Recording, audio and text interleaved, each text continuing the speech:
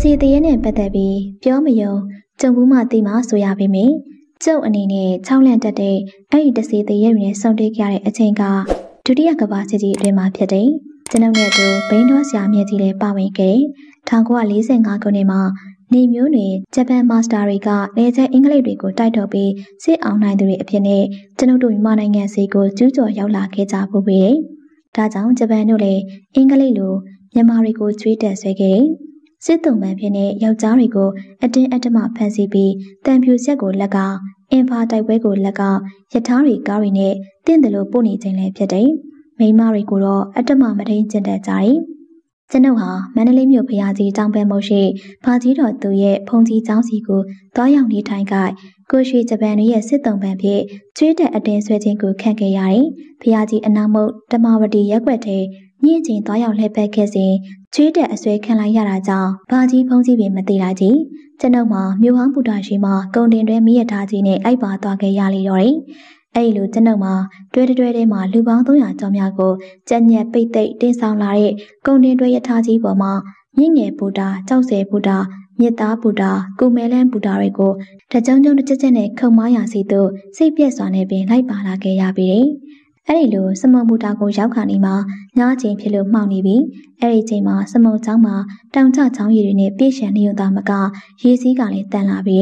မြေကူတတာကြီးချင်းဒီမှာလဲမိရတာကြီးတစ်စီလုံးအရှိန်နဲ့ခုံမောင်းလိုက်ပါကပြိုကျရိုင်နဲ့သွားပြီလိမ့်မယ်။ဒါကြောင့်အရှိန်သက်ပြီးမိရတာကြီးတဖြည်းဖြည်းခုံမောင်းနေစဉ်အဆောင်ဂျပန်စစ်သားတွေအလေးမှားမှားမမဲကြီးထဲမှာရုတ်တရက်ရေထဲခုန်ချလိုက်တန်တွေနဲ့အတူရိုင်ဖယ်တနက်တန်တွေကိုပါဆင်ကဲဆင်ကဲကြားလိုက်ရတယ်။ ကျွန်ုပ်လိုအကြံတူစာတတားပေါ်မှာရေထဲခုန်ချပြီးရေငုပ်ပြီးပြောက်ွယ်သွားသူတို့ကိုအဆောင်ဂျပန်တွေကရန်တမ်းပစ်လိုက်ကြခြင်းပြီ။ရထားကုံတွေထဲမှာငပိငချင်းတိတ်တယ်လို့ကြက်ညက်လိုက်လာရတဲ့ဆင်းရဲဒုက္ခတွေမှာကင်းလွတ်ပြီးစမုံမြတွင်းစီကိုလွတ်ကင်းရရောက်ရှိလာခဲ့တော့ကျွန်ုပ်မှမူအမိုက်တိုက်တွေရှိလောက်ရာမြေကမ်းဘက်စီကိုအသက်အောက်နိုင်သမျှအောင့်ပြီးရေငုံလျက်ပင်ကုကက်လာနိုင်ခဲ့တာကြောင့်တေပြီးမှဝေးခဲ့ရပြီလို့ဆိုရပါမယ်။ အဲ့ဒီလိုရိုင်ဖယ်တနက်တန်တွေတတိုင်းတိုင်းနဲ့ပစ်ခတ်လိုက်ပြီမဲ့လေကြောင်မီးသွေးနဲ့ရင်သွေးငွေအင်ဂျင်မောင်မီးရထားကြီးမှာသူ့ဆက်တန်တကြုံကြုံစုညံတန်တွေကြောင့်ခေါင်းတွဲစီမှကပ်ပူဂျပန်ကြီးတို့မှကြားလိုက်ဟန်ပေမတူ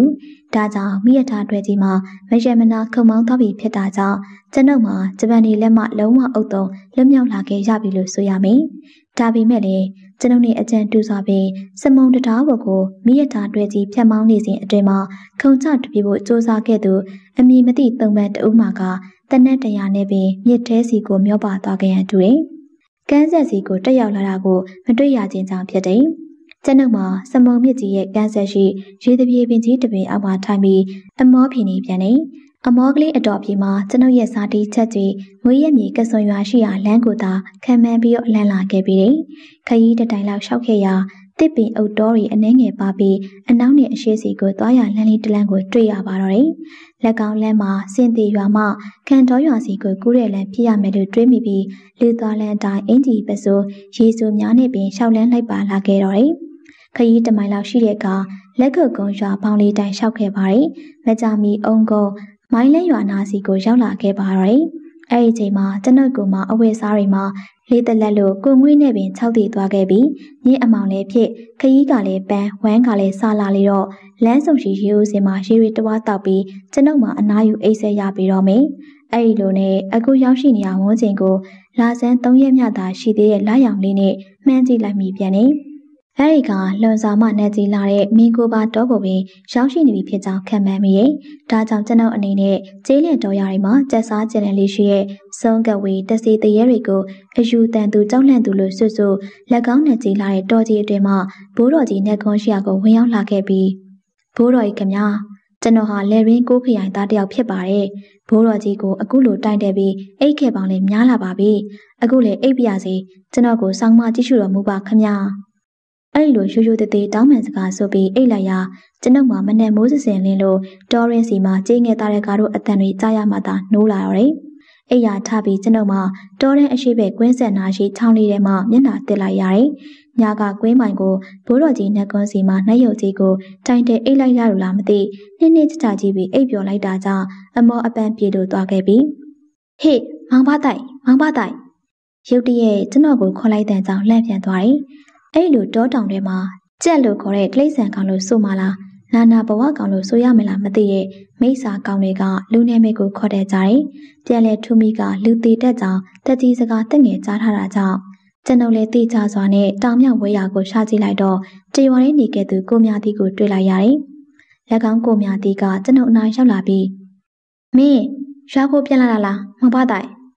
ဟုတ်တယ်ဗျကိုမြတီစစ်အတွင်မှာကျုပ်တို့ရွာချင်းနေရောဘလို့လဲဗျ အင်္ဂလိပ်တွေဘုံချလို့ပြက်ကြော်ကွာရွာအုပ်ကပြက်တဲ့ចောင်းကြီးတာမကရွာတစ်ချမ်းလဲမိတဲ့ပါသွားတယ်လေကွာဒါဖြင့်ရွာကလူတွေကလွတ်သေးရဲ့လားလူတွေကတော့လွတ်တာပေါ့ကွာတို့ကစွန်ရွာတရွာလုံးလူတွေကတော့မင်းကိုပါတော်တယ်ပြောင်းရွှေ့နေတာကြာပြီကွာအိုးဟုတ်လားကျွန်တော်ရွာစီသွားနေဘယ်သူမှတွေ့အောင်မဟုတ်ဘူးပေါ့အင်းလေတို့ရွာထဲမှာဂျပန်ကပုတ်တွေကဖုန်ကြီးကျောင်းအောက်တချို့ကျောင်းမတချို့နဲ့သူတို့တက်စခန်းကိုလှုပ်တာ ဒါကိုအင်္ဂလိပ်ကသိတော့ဘုံကျဲချတာပေါ့အဲ့ဒီတော့ကတေးလိုက်ကြတာလူပေါင်း300ထဲမနေဘူးမသေးမရှင်တွေရောတေပြီးသားတွေရောမြောက်ဘက်ကတုတ်တန်ကျောင်းပေါ်တင်ပြီးမိရှို့သွားလိုက်ရတာအဆောင်ဆိုလို့ဇရက်တစောင်းတော့မကြံတော့ဘူးဟေးကဲကဲမင်းလည်းရွာစီပြန်လာတာမဟုတ်လားသွားရင်စကားပြောကြတာပေါ့ကွာဒါနဲ့ကိုမြသည်ခမရတို့အခုပြောင်းရွှေ့တဲ့နေရာကိုဂျပန်တွေကလိုက်မလာဘူးလားဗျလိုက်လာရင်လေဒင်းတို့ဂျပန်ငပုတွေပြန်လဲမရှိတော့ဘူးပေါ့ကွာဟာတဲဆိုရဲစပါလားဗျ ခမရတို့ရွာထဲမှာလက်နက်တွေပါရှိလို့လားရှိတာပေါ့ကွာတို့ရွာမှာဒီဂျပန်ငပုတွေတဲ့တာတဲ့အသစ်ချက်ချို့လက်နက်တွေရှိရင်ရွာရောက်ရင်တော့မင်းနဲ့တိုင်မင်းစားတွေအများကြီးရှိတယ်မင်းကစစ်တဲ့နေခဲ့လူဆိုတော့လက်နက်တွေကြောင့်လည်းနားလေတယ်လောကီရေရအစီမံနေတဲ့လှုပ်တက်ကိုင်းတဲ့မဟုတ်လားအဲ့ဒါတွေထားပါအောင်ဗျာခမရတို့ဟိုရောက်တော့ဘာလုပ်စားမှာလဲအေးလေကွာမင်းအနေနဲ့မေးတင်တာပေါ့မောင်ပါသားရတို့ရွာကလူတွေကတော့ကန်လဲကောင်းရဲ့ကန်လဲဆူရဲ့လို့ဆိုရမှာပေါ့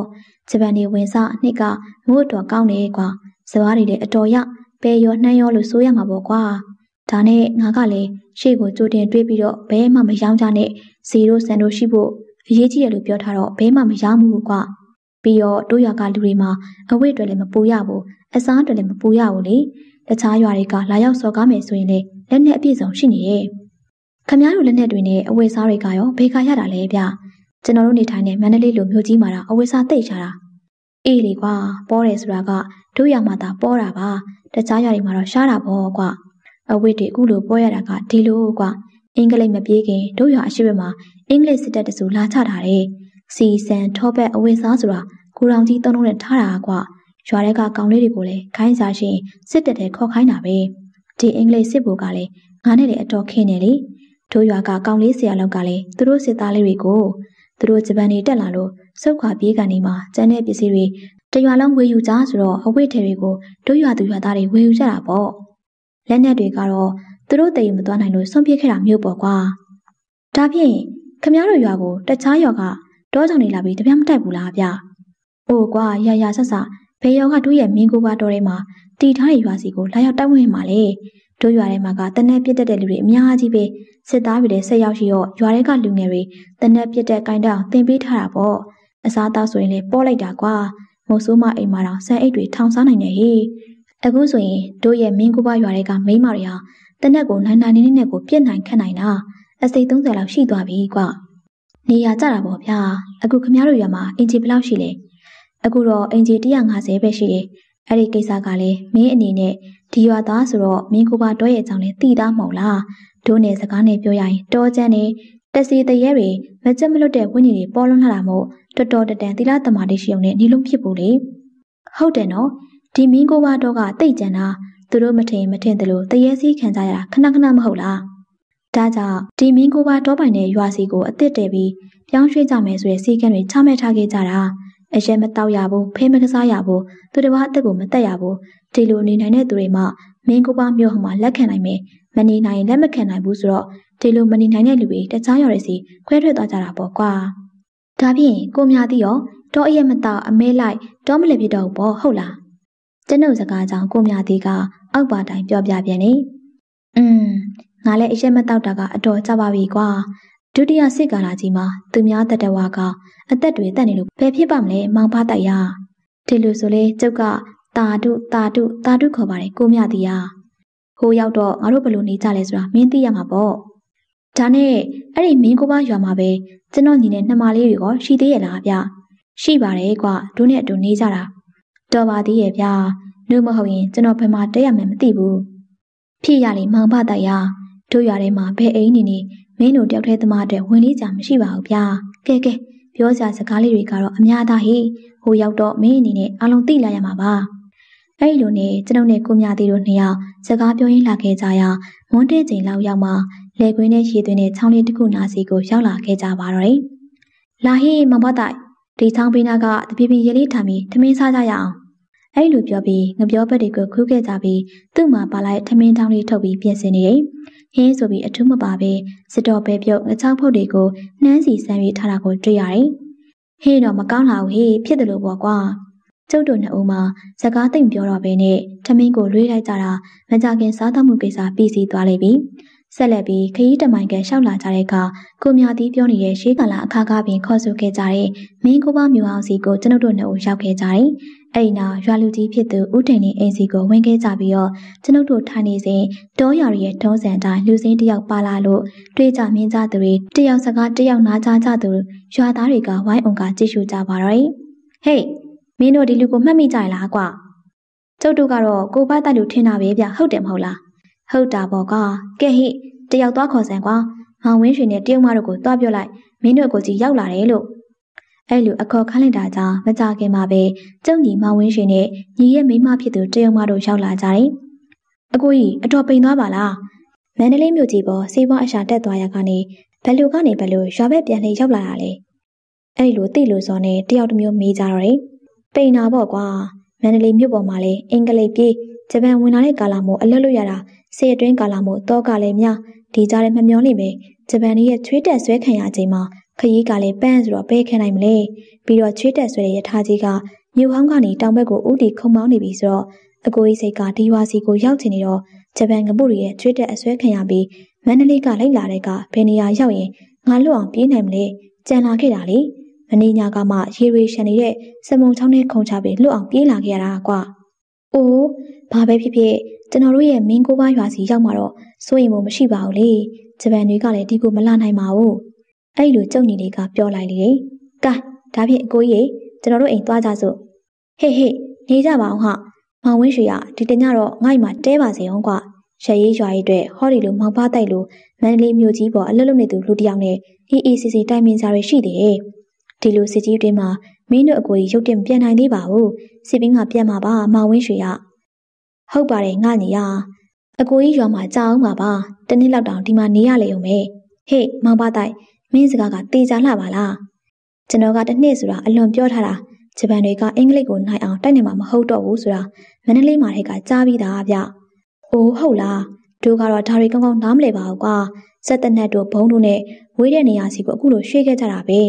ဒီမင်းကိုပါရွာအောင်စီရောက်တဲ့အချိန်ကစပြီးနားကိုအေးလို့ဂျပန်ဆိုလို့တကောင်းမှမမြင်ရတော့ဘူး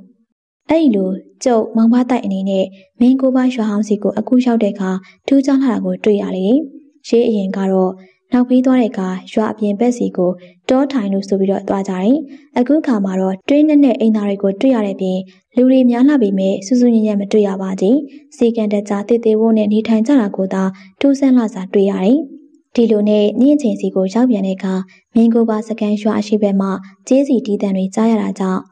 ခမည်းတော်ဒီမင်းကိုမစကန်းရွာတဲ့မှာလဲဖုန်ကြီးเจ้าနေဖိုင်နေလားဗျ ဟာရှိရပေါ့မဘတရဖုန်ကြီးเจ้าနဲ့တန်ဃာတွေထားဖြစ်ခဲ့လို့ဘယ်ဖြစ်မလဲရွာတရွာတဲလိုက်ရင်ဖုန်ကြီးเจ้าနဲ့တင်ချိုင်းကုန်းကတော့မရှိမဖြစ်ရှိရမှာပေါ့ရွာတရွာတဲရင်စုံမ9ယောက်ရှိရတဲ့ဒီရွာမှာတော့စုံမတွေရောပါနေတာအေးကွာအဲ့လိုတော့ပြောကြတာပဲဒါမဲ့တို့ရွာတဲမှာငါတို့အနေနဲ့စုံမဘသူလဲဆိုတာမသိပါဘူးကွာဒီလိုဆိုရွာထဲမှာစုံမဘယ်နှယောက်ရှိရဆိုတာဖော်ထုတ်ပေးပါမယ်လေ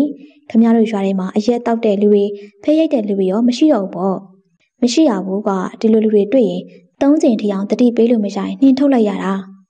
ဖဲရိုက်ဖို့ဆိုတာကတော့ဂျပန်ခေတ်ကြီးမှာဖဲတုပ်လည်းမရှိငွေလည်းမရှိတော့မရိုက်ကြပါဘူးကွာဒါဖြင့်ခမရတို့ဒီရွာမှာဂျပန်ငွေတွေကိုမသုံးကြဘူးပေါ့မသုံးပါဘူးကွာငွေရှိရင်လည်းအရောင်းဝယ်မှာမလုပ်ကြပဲလူရာရှိရင်ပစ္စည်းချင်းလဲသုံးကြတာအဲ့ဒီစနစ်ကဘယ်လိုလဲဗျနားလည်အောင်ရှင်းပြပါအောင်နားမလဲစရာဘာမှမရှိပါဘူးကွာ မင်းလည်းငယ်ကမြင်မှုတယ်မဟုတ်လားအနောက်ဘက်ကြေးတော်သားတွေဒိုးလေပင်ကိုခရိုင်ဘက်စီကိုအဝဲထဲဖြင်ချမ်းတွေအမဲကြောင့်တွေကိုလဲနဲ့တင်ဆောင်လာပြီးစပားတွေကြက်သွန်တွေနှနှွေးတို့ပဲတို့နဲ့လဲသွားကြတယ်မဟုတ်လားအဲ့ဒီတိုင်းအလဲလေလုံးကြတယ်ဆိုတော့ငွေသုံးဖို့လိုသေးလားကွာอืมဟုတ်ပါတယ်လေပြီးတော့ဒီရွာတွေမှာအရင်တုန်းကအိမ်သာမရှိပါဘူးဗျအခုတော့အိမ်သာတွေနဲ့ပါလားဟာဒါကတော့မောင်ဖတိုက်ရမင်းနဲ့အတိဆုံးပါဒါမှမဟုတ်မင်းတတိမထားမိလို့ပါ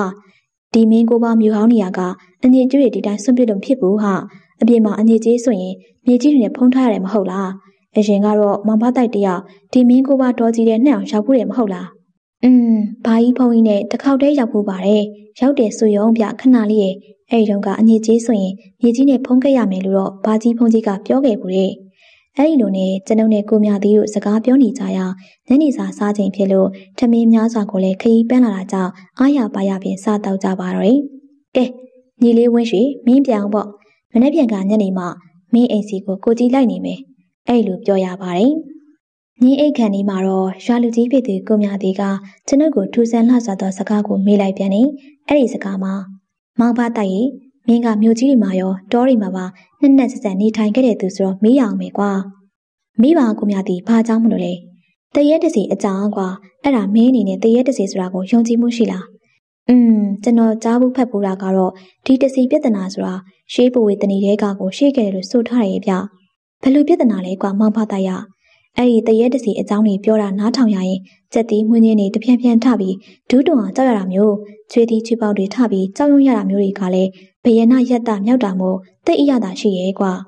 อืมဒီလိုဆိုရင်လေကျွန်တော်ဖတ်မှတ်ထားရတစီသေးနဲ့ပတ်သက်တဲ့ဇလန်းလေးမပြောခင်တစီဆိုတဲ့ပြဿနာကြောင့်စပြောမယ်ဗျာအဲ့ဒီပြဿနာတွေကတော့တစီဆိုတာတကယ်ရှိလားတစီဆိုတာတကယ်ကို၆လန့်တက်လားတစီဆိုတာဘလို့ပုံစံဘလို့တဒံဘလို့တရဝမျိုးလေဒီတစီတွေမှာဘုံဌာနတီးကြရှိသလားဆိုတာတွေပေါ့ဗျာအိုးဟုတ်လားဒါတွေကိုငါတို့လည်းသိကျင်တာပေါ့ခမည်းသိကျင်တယ်လို့ပဲမန်လေဆရာတော်ကြီးက ပြောကြရင်လောကမှာတဆေရှိတဲ့ဆွေသိငယ်လားသိပါချင်းရှိပါရင်တဆေဆိုတဲ့ဒီပုဂ္ဂိုလ်ကောင်းတရုပ်ကိုကြမ်းအုပ်လို့ကြားအဲ့ဒီစာကြိုးကြပြလေးနဲ့မေးလိုက်တဲ့ဒီကမှာမင်းကွန်းတော်ရဆရာတော်ကြီးကပြောကြရင်လောကမှာတဆေရှိရလို့နှမ်းတီကြောကြားမျိုးထူးထွေဒီတဆေရှိသည်ဟုတ်ပါဘူးမြေပုဂ္ဂိုလ်တဆေပြောကြတယ်လောကလူများအဲ့ဒီအချိုးကြပြလေးနဲ့ပြန်လည်ဖြေရှားတော်မူခဲ့တဲ့ဒီကြပြရဲ့အတိတ်ပဲပုံမိုရှင်းလျောင်ပြောပြရမယ်ဆိုရင် လောကမှာတဆေဆိုတာရှိရင်တဆေမှာဂတိ၅ပါးမှာတီးချမ်းတဆေဂတိဆိုပြီးတီးတန့်တကူမရှိကြောင်းဂတိ၅ပါးရှိရဲ့နဲ့ပေတာဂတိလိုလာရန်ရောက်ကြရတဲ့မြေဖုတ်ပိတ်တာတွေကိုပင်တဆေရဲလို့ခေါ်နေကြခြင်းဖြစ်ကြကြောင်းရှင်းပြပြောဆိုလိုက်တာပဲကိုမြသည်ရဒီလိုဆိုမောင်ဖတိုက်ရတဆေတွေနဲ့ပတ်သက်ပြီးထူးခြားမှုကိုစာတွေ့ကိုတွေဖြစ်ရတယ်ရောမရှိဘူးလားရှိတာပေါ့ကိုမြသည်ရတရဲတစီသားကိုအရက်နဲ့မီးစားဖို့တဲ့လူကြောင့်ခမကြဘူးလားမကြဘူးသေးဘူးကပြောပြစမ်းပါအောင် တကယ်တော့ဒီတရက်တစီဆိုတာဒေတာအရရက်လူအမျိုးမျိုးဘာသာအယူဆမျိုးမျိုးကွဲပြားခြင်းကွဲပြားကြပါလိမ့်မယ်တစီတရက်တွေဆိုတာ၆လန့်တတ်တယ်ဖန်းစားတတ်တယ်ကြောက်မပဲကောင်းလာတယ်ဆိုရင်ယူဆချက်ကတော့ထက်တူထက်မြညီတူနေတော့အမှန်ပဲမဟုတ်လားဗျอืมအဲ့လေဟုတ်တယ်ကွာဒါမဲ့ကိုမြသည်ဟာတချို့ကလည်းတရဲတစီရှိရဆိုတာလက်တွေ့မမြင်ဘူးတော့မယုံကြည်ကြအောင်လေတချို့ကြပြန်တော့လေယုံကြည်ကြပေမဲ့မကြောက်ကြဘူး တစီတရဲနဲ့တွေ့တဲ့အခါထွက်မပြေးတဲ့အပြင်နေလားငါလားကြုံသွားပြီးနေပန်းပင်ခံသက်တက်ကြတာတစီတရဲကိုဒီလိုမကြောက်တဲ့ပြင်တစီတရဲကိုပင်စားဖို့သူလူတယောက်ရှိဖို့ကြောင့်ခမ ्या ကိုပြောပြပါမယ်အေးတစီတရဲအသားကိုစားတယ်ဟုတ်လားဟုတ်တယ်ဒီဖြစ်ပျက်ကဟိုးလွန်ခဲ့တဲ့1115ခုနှစ်ရတနာသင်္ကမြို့ကိုတီထောင်နန်းတက်တော်မူတဲ့အလောင်းမင်းတရားလက်ထက်ကဖြစ်ခဲ့တာတစီတရဲကိုထမ်းရည်နဲ့မြည်စားခဲ့သူမောင်ချမ်းကောင်းဆိုသူကတော့ ဒီပရင်မြို့စီရင်စုအုတ်ရှိကြီးရွာမှာနေထိုင်ခဲ့ရပါဒီအုတ်ရှိကြီးရွာဆိုတာကလည်းအလောင်းမင်းတရားကြီးကိုယ်ွယ်တော်မူလို့သာသနာပိုင်အဖြစ်ရောက်ရှိတော်မူတဲ့အတုလဆရာတော်ဘုရားကြီးရဲ့ဇာတိချက်တွေဖြစ်တာကြောင့်စီကားတယ်။အင်ကြီးတစ်ထောင်လောက်ရှိအောင်မို့ရက်ွက်တွေကိုပင်တောင်အရက်မြောက်အရက်အရှိအရက်အနောက်အရက်ကုန်းရိုးရက်ဆိုပြီးတော့ရက်ွက်တွေခွဲထားပြန်တယ်။အတုလဆရာတော်ကအမိဖားတို့ရဲ့နေရက်အိမ်ယာမှာ တောင်းတိုင်းပြည်စေးတော်တစုဘေးမဲ့ချမ်းသာတစုတို့ပြင်ရွှေဟောင်းလူတွေတီထားကိုးကွယ်တဲ့ရွှေချမ်းသာဘုရားဆိုတာကိုတည်ပြန်နေဒီစီရီဟောင်းမှာနှစ်စဉ်နေုံလာပြည့်တပေါင်းလာပြည့်နေ့တစ်ကြိမ်တကူလာပြည့်နေ့တစ်ကြိမ်အခါတော်မှာတစ်ကြိမ်တနေ့မှာ၅ချိန်ရွာမတစ်ချူရွာအင်ချင်းမင်ရွာကန်ဒီရွာချောင်းရွာလိမ့်လာရွာကြောက်ဆောင်ရွာအိုင်ရွာမိချောင်းအိုင်မြောက်အင်းမူးကန်စတဲ့ရွာနေချုပ်ဆက်မှဆွေတိုက်မျိုးတိုက်တို့ဟာစွန်းတင်ကန်ကက်လူပူဇော်ပွဲတွေကျင်းပလေးရှိကြရဲဆိုပဲ ဒီအချိန်မှာအုတ်ရှိကြီးကတောင်ဝရက်မှာနေတဲ့မောင်ချမ်းကောင်းဆိုသူဟာငကိုကလေးကကြောက်စိတ်ကင်းမဲ့ပြီးတက်တီကောင်းနေလုံးရာပရိယရှိသူဖြစ်တာကြောင့်ရွာနဲ့ခရီးနှစ်တိုင်အကွာထင်းကုန်းတောထဲမှာမယားဖြစ်သူမိညိုအေးနဲ့တူမိုးနေမပြတ်လေယာလုပ်ငန်းတွေလုပ်ကင်ကြတယ်။လက်ကောင်းလင်မယားတွေမှာအဖော်တဟဲဆိုလို့တော်လုံးမွေးနဲ့တွေ့မရှောင်ဆွဲခွေးနှကောင်တော့ရှိတယ်။ဒီခွေးနှကောင်ကလည်းလက်ကောင်းတို့ရဲ့အရှင်တခင်မောင်ချမ်းကောင်းတို့ပဲတက်တီကောင်းကြတယ်။ရုံတရေစတဲ့တိရစ္ဆာန်တို့ကိုမဆို့ထားနဲ့ ကြားကျတဲ့လို့တရိတ်ဆန်ကောင်ကြီးတွေကိုပင်မကြောင်တွေးသမျှတောကောင်တွေကိုတေအောင်ကြိုက်တတ်ကြတယ်။အဲဒီချိန်ကာလကလက်ကောင်းလိုနေထိုင်ရာတောနဲ့ရွာကြမှာတစီတရဲတွေကအလွန်မင်းတောင်းကျန်နေပြန်နေ။ဒီတစီတရဲတွေဟာခရီးသွားလာတွေကိုမကြမကြချောင်းလန့်ဖန်ဆာတက်ပြီးကြောက်ပြားကြောက်နာတွေရောဂါတွေကက်ရောက်နေရမို့မိုးလဲသုံးချက်တီကျော်ကစပြီးမြေဝင်ရီတရောအချိန်ဒီမှာတယောက်ချင်းတောတွေတောင်တွေမှာမသွားမလာဝပဲဖြစ်နေကြပါတော့ရဲ့ဗျာ။ဒီလိုနဲ့တပေါင်းလှပြည့်နေမှာ တန်ကာဆွမ်းလောင်းပွဲကြီးကိုနှစ်စဉ်ကျင်းပတာမို့မောင်ချမ်းကတက်ရောက်လေလာဆန်းဆက်လီရဲ့အဖိနေမှာညစာထမင်းစားပြီးစောင်းနေကြဓမ္မကိုထက်မြက်စွာသွေးလိုက်သေးတယ်။ပြီးတော့မှခွေးနှစ်ကောင်ဓမ္မတလက်နဲ့လေတော့ကနေရွာစီကိုထွက်လာခဲ့တယ်။ရွာနဲ့တော့ကြားထိန်ဘက်ကားရည်လို့ခေါ်တဲ့ရေရိုင်အနီးစီကိုရောက်လာတယ်ဆိုရင်ပဲတစီတရေကမြင်းတတဝဟန်ဆောင်ပြီးခွာတန်ပြပြနဲ့အတင်းလိုက်လာခဲ့တယ်။ဒါပေမဲ့မောင်ချမ်းကောင်းမှာအကြောက်အလန့်တစုံတရာမှဖြစ်မလာခဲ့ဘူး။ အသင်းကင်ဆောင်ထားတဲ့အဆောင်ဓမ္မကိုသာနာနာကင်ပြီးမတမလို့ရက်နေလိုက်တယ်။ဒီအချိန်မှာမင်းအောင်ဆောင်လာတဲ့တစီကပျောက်ကွယ်သွားရောတဲ့။ဒါကြောင့်မောင်ချမ်းကောင်းလေးခရီးစပြီးထွက်လာပြန်တော့ညောင်မင်းကြီးတပြောင်ရောက်ရှိသွားတယ်။ဒီကမှာတစီကြီးဟာလူရောင်ဆောင်ပြီးညောင်ကိုင်းကိုတွဲလဲဆွဲပြီးတော့ခြောက်လှန့်နေတဲ့။မောင်ချမ်းကောင်းကလည်းအေးနေနဲ့ငါဒီတစ်ခါတော့တွေ့ကြရောပေါ့ကွာ။အဲ့လိုပြောပြီးအနည်းရှိတစ်ပင်တစ်ပင်မှအကိုင်းကိုပါလာရထားနဲ့ခုတ်လိုက်ပြီးဒုတ်တူလှုပ်လိုက်တယ်။ပြီးတော့တစီကိုဒီဒုတ်တူနဲ့ပြစ်ထည့်လိုက်တယ်။ ကွက်တီမှန်သွားတဲ့တစေတရေကောင်ကြီးလေးပြင်းထန်လာတဲ့ဒုတ်တန်ရကြောင့်ညောင်ကိုင်းစီမှာလွတ်ကျသွားပြီးထွက်ပြေးတယ်။ဒီခါမှာတော့တောလုံးမွေးနဲ့တွေ့မချောင်ဆဲခွေးစွန်းနှစ်ကောင်ကလည်းတောကောင်တွေထဲမှာသားကောင်ကိုလိုက်နေကြအမဲလိုက်ခွေးတွေပြီးပြီးတစေတရေကောင်နောက်စီကိုထက်ချက်မကွာလိုက်ကြပါလေရောဗျာ။ဒီဒီခါမှာတော့တစေတရေကောင်ကြီးဟာကျွန်းမင်ကြီးတပင်ပေါ်တက်ရောက်ပြေးသွားတာကိုရှေးခနဲမြင်လိုက်ရတာမို့ထက်ချက်မကွာလိုက်သွားကြပြန်တယ်။မိမိခွေးရဲ့နောက်ကလိုက်လာတဲ့မောင်ချမ်းကောင်ဟာ ကျွန်းမင်ကြီးပေါ်မှာတစီတရေရှိနာကိုသိလိုက်ရတယ်။ဒါကြောင့်အပင်ပေါ်တက်ပြီးအကိုင်းရှိသမျှကိုဒုံနဲ့တရဆက်ရိုက်နေတာမို့တစီတရေကောင်ကြီးလည်းကျွန်းမင်ပေါ်မှာမခိုးသားပြန်ဘူး။နောက်တစ်ပတ်ဆင်းပြေးသွားရပြန်တာမို့ခွေးနှစ်ကောင်ဟာမျက်ချီမပြတ်ဆက်လက်လိုက်ပြေးသွားပြန်ရောတဲ့။ဒီလိုနဲ့လမ်းတက်လျှောက်လုံးတပင်တက်ဆင်းပြေးခဲ့ပြန်ရနောက်ဆုံးအုပ်ရှိကြီးပါနေမူတော်ဖျားတောင်ပဲရေကန်သားရှိတဟပ်ပင်တပင်ရဲ့တစ်ခေါင်နဲ့ဝင်းရောက်ပြေးလွှားသွားခဲ့ရပြန်နေ မောင်ချမ်းကောင်းရဲ့အမဲလိုက်ခွေးတွေလည်းဆက်လက်လိုက်ကြပြန်ရောဒီလိုနဲ့ရွာရဲ့တောင်ပဲနှောရင်းလို့ခေါ်တဲ့လေကတင်ကိုပစွန်တွင်းကောင်းနဲ့ဝင်ပြေးသွားပြန်နေတဲ့ဒီတော့အမဲလိုက်ခွေးတွေလည်းဒီပစွန်ချင်းကိုရှက်ပြီးဟောင်းနေတာတခင်ဖြစ်သူမောင်ချမ်းကောင်းမြင်လိုက်တယ်ဆိုရင်ပဲကဲတစီမိုက်ဒီတခါတော့နှင့်ကိုမိပြီနင်မသိငါနေရိုးလားအဲ့လိုကြုံသွားပြီးတွင်းကောင်းကိုလုံအောင်ပိတ်ထားလိုက်တယ်နောက်ပြီးအိမ်ကိုပြန်ပြေးသွားကတရင်ကိုယူခဲ့တယ် ပြီးတော့တဆေဝင်ပုံးနေတဲ့ပစုံချင်းကိုအားနဲ့အင်းနဲ့တူးပေါ်လိုက်တော့ပုတ်တင်ညိုတကောင်ကိုသာမျက်ဝါးထင်တွေ့မြင်လိုက်ရတဲ့အဲ့ဒါနဲ့ကိုင်းဒီကောင်ပဲဖြစ်လိမ့်မယ်လို့ဆိုပြီးတော့လက်ကောင်းပုတ်တင်ညိုကိုအသေးရိုက်တက်ပြီးရွာအနောက်ဘက်ကန်နီတော်ထန်းသမားငမရဲ့မယားတဲကိုသွားကပုတ်တင်ညိုကောင်ကိုမိဖုတ်လိုက်ပါတယ်ပြီးတော့အဲ့ဒီပုတ်တင်ညိုကြက်လောက်ပြီးဆိုရင်ထန်းရီခါနဲ့တောက်စားကအမီးလုတ်ပစ်လိုက်တာပေါ့ဒီတော့တစေကောင်လည်းမိမိရဲ့ရုပ်ကလပ်ကိုတက်မက်မှုစောနဲ့မောင်ချမ်းကောင်းနောက်ကိုတကောက်ကလိုက်ပါက ကိုဝင်တရီတီရောမဲ့ထန်းရည်တဲ့မိလွမ်းရဲ့မွေးဝမ်းတွင်းတဲ့စီကိုဝင်ရောက်ကိန်းအောင်လိုက်တော့တယ်ဒီလိုနဲ့ကိုလာလဲဆလာဖွားတဲ့နေရောက်တဲ့ကတားယောက်ျားလေးဖွားမြင်လာပါတော့တယ်ဒါမဲ့ဒီကလေးဟာမောင်ချမ်းကောင်းတန်ကိုလက်ကောင်ရုပ်ကိုလက်ကောင်ကြောက်ရမြင်ရတဲ့ခါတိုင်းမှာပြင်းထန်စွာကြောက်လန့်ငိုကြွလေးရှိဒါကြောင့်မိခင်ဖြစ်သူမိလွမ်းမွေးကတားဖြစ်သူစကားပြောတတ်စာအရွယ်ရောက်လာပြီဆိုရင်သူအမေးကျင်ဆုံးအသိကျင်ဆုံးအကြောင်းအရာတစ်ခုကိုစတင်ပြီးတော့မေးလိုက်တော့တယ်အဲ့ဒီမိကွန်ကတော့ငါသားနေနဲ့မောင်ချမ်းကောင်းကိုဘာကြောင့်လှောက်တော့ကြောက်ရတာလဲ ဒီလူကြီးဟာဟိုးအရင်တစ်စစ်တရေဘွားကကျွန်တော်ကိုထမ်းရီခါနဲ့အမီးလှုပ်စားခဲ့ပူတာကြောင့်အင်မတန်ကြောက်ခဲ့ရကြောင်းပြန်ပြောလိုက်တာမို့ထမ်းရီခါနဲ့တစ်စစ်တရေသားကိုစားပူတဲ့မောင်ချမ်းကောင်းဟာလူသိများပြီးတော့ထင်ရှားတဲ့တစ်စစ်ပုံမြင်ပဲမဟုတ်လားဗျ။อืมမောင်ချမ်းကောင်းဆိုတာကတဲပြီးတက်တီကောင်းလုံးလို့တာပေါ့ကွာငါတို့သာဆိုရင်တော့ဘိန်းနောဆရာမြဲကြီးရဲ့တရက်တစီတွေမကတ်နိုင်တဲ့အန်ရီကင်းအဆောင်ဆေးတွေကိုသာမထိုးထားရင်တော့တောကျန်တဲ့နေရာတွေစီမသွားရဲမလာရဲဘူးဟေ့။ အော်ဒါနဲ့အဲ့ဒီဘိန်းတော်ဆရာမြတ်ကြီးရောကျန်းကျန်းမှရှိလားကိုမြသည်ရဲ့။အဲ့ဒီဘိန်းတော်ဆရာမြတ်ကြီးတို့ရဲ့မင်းကိုပါမြို့အောင်ရွာကိုရောက်နေပြီးဒုတိယကဘာစစ်တွင်မှာခိုးလုံနေတယ်လေကွာ။ပြီးတော့ဟိုနားဒီနာရွာနီးထုတ်ဆက်တွေမှာဘယောဂကုဈေးကုအလုပ်တွေလုပ်နေရဲကွာ။အိုးဟုတ်လားဒီဆရာကြီးကလက္ခဏာပေးတဲ့နက်ခတ်ဘေးတင်ပညာတွေအပြင်အမျိုးမျိုးသောစီးပညာရက်တွေနဲ့တယံဇာတသဘာဝတက်ပညာတွေတက်ကြွတဲ့လောကဝိဇ္ဇာပညာရှင်ကြီးပြ ဒီရွာထဲမှာပြန်ရောက်လာနေပြန်ပြီဆိုရင်တွေ့ကျင်လိုက်တာကိုမြသည်ဟာအေးအခုတော့မရှိသေးဘူးဟိုအထက်ကမဲဆယ်ပင်သားရွာဘက်ကလူနာကုဖို့လာပေးတဲ့အတွက်ညအိတ်ထွက်သွားသေးတယ်ကွာကဲကဲမင်းနဲ့ထမင်းစားဖို့အချိန်ရောက်ပြန်ပြီဟဲ့ရှင်မကြီးအသင့်ဖြစ်ပြီလားအင်းရှိကုပစ်ပေါ်ဝိုင်းဖွဲ့စကားပြောနေတဲ့ကိုမြတီကသူ့အမျိုးသမီးမတ်သေးမြင့်ရှိအောင်မိဖို့ကံပဲလှမ်းပြောလိုက်တယ် ထမင်းပွဲတွေခုကပ်ပြီးအစင်းသိဖြစ်နေပြီလို့ဆိုတာကြောင့်စကားပြောရက်ပြီးတော့ထမင်းစားတော့ကြတယ်။မောင်ဘာတိုက်ရဲ့ညီငယ်ဆုံးမောင်ဖအောင်ကိုလည်းမှုအုံနိုင်ရင်ဖြစ်တာကြောင့်ပေါ်ဦးပေါ်ပြဟင်းစားတော့ဖို့တိုက်တွန်းတာကြောင့်စားသွားပြန်သေးတယ်။ကျွန်ုပ်တို့စားတော့ပြီးအပြန်မှာကဲညီလေးပါအောင်မင်းပြန်အောင်ပေါ့မနေ့ပြန်ညနေမှမင်းအိမ်ကိုကိုကြီးလိုက်နေပါမယ်ကွာ။အဲ့လိုကျုပ်ကပြောလိုက်ရပြီ။ ညင်ပိုင်းမှာကိုမြသီးတို့အိမ်ရှိကုပြစ်ဝိုင်းမှာအလဲအပက်ရောက်လာကြတဲ့ကာလာသားတချို့နဲ့ဆက်မီဆရာစကားတွေပြောကြပြီးနောက်အချိန်ကုန်ညင်းနေလာတာကြောင့်ကျွန်ုပ်မောင်မတိုက်တယောက်အိတ်ဆက်အနားယူခွင့်ရခဲ့ပြီပြီ။နောက်တစ်နေ့မနေ့ထမင်းစားတာပြီးတဲ့အခါမှာကိုမြသီးကကဲလာကွာငါတို့လက်နက်တွေဝှက်သိမ်းထားတဲ့နေရာနဲ့ပစ္စည်းတွေထားတဲ့နေရာတွေကိုပြမယ်။အဲ့လိုကိုမြသီးကပြောလိုက်ကမင်းကိုပါစကန်တွင်းရှိရွာလေဆွေးနေရာစီကိုကျွန်ုပ်ကိုခေါ်ဆောင်သွားခဲ့ပါတော့တယ်။၎ င်းနေရာမှာအထက်မှပထောက်ပင်ကြီးတွေနဲ့ရင်းတိုက်ပင်ကြီးတွေအုံမိုးနေရကြောင်းနှွေအခါမှာပင်ပူအားခြင်းမရှိအလွန်အေးမြလာပေတယ်။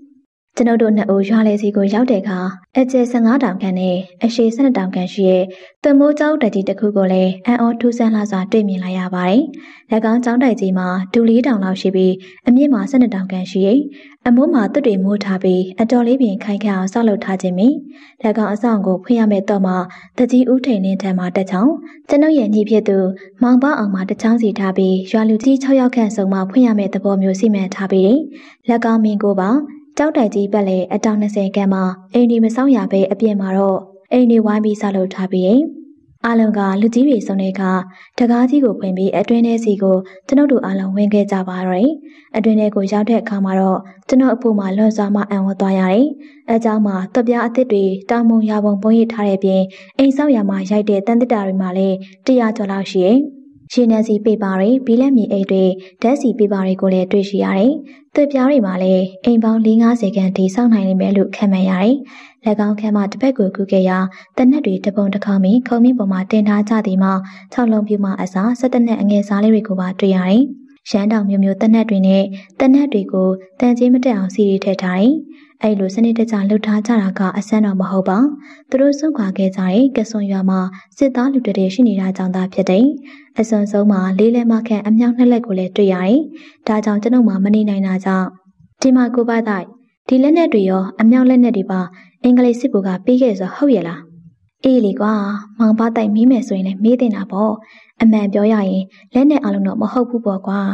တို့ဒီရွာနာတလျှောက်ဟာလည်းအင်္ဂလိပ်နဲ့ဂျပန်နေသူပြစ်ကိုပြလုံနေတဲ့စစ်တလင်းကြီးဖြစ်ခဲ့လေတော့တချို့ကိုလည်းအဲ့ဒီကကောက်ပြီးတော့စူဆောင်းထားတယ်လည်းပါတာပေါ့ကွာอืมဟိုအရင်တုန်းကဒီလက်နက်တွေခမားတို့မင်းကိုပါစကန်မှာရှိနေတဲ့သတင်းတွေကိုဂျပန်နေသိသွားလို့ကတော့ခမားတို့ရတကယ်ဒုက္ခကြီးပေါ့အခုတော့ဂျပန်တွေလည်းကျွန်တော်တို့မြန်မာပြည်တွေကစုတ်ခွာနေရပြီးတော့ခွေးပြေးဝက်ပြေးသွားနေရပြီဆိုတော့စိုးရင်ကြမရှိတော့ပါဘူး အေးလေကွာဒါကြောင့်မို့လို့လေဒီရွာစင်ဆက်ဝေးပြီးသွားရေးလာရေးခက်တဲ့မင်းကိုပါတော်ကြီးတဲ့ပြောင်းရွှေ့နေရတာပေါ့ဒါဖြင့်ပတ်ဝန်းကျင်ကတခြားရွာတွေမှာလည်းဒီလိုလက်နက်တွေရထားကြမှာပဲပေါ့ရထားကြတာပေါ့ကွာဒါပေမဲ့တက်နက်မှာဘလို့ပြရမမှန်းမသိကြသူတွေဖို့တော့ဘာသုံးကြမှာလဲမင်းရောဂျပန်စစ်တပ်တဲ့နီလာဆိုတော့အမြောက်ကောပြစ်တက်လားကွာအမြောက်တော့ကျွန်တော်လည်းမပြစ်တတ်ပါဘူးဗျာရိုးရိုးတနက်ဆိုရင်တော့ဘာတနက်ပဲဖြစ်ဖြစ်ပြစ်တတ်ပါတယ် ဒီတနက်တွေကတော့တအိမ်တလက်ပိုတဲ့တနက်တွေကိုစုထားတာပဲဟေ့ဒီရွာထဲမှာကိုကြိုက်တဲ့တနက်တစ်ယောက်တစ်လက်နဲ့ရန်တောင်90စီပေးထားသေးရဲ့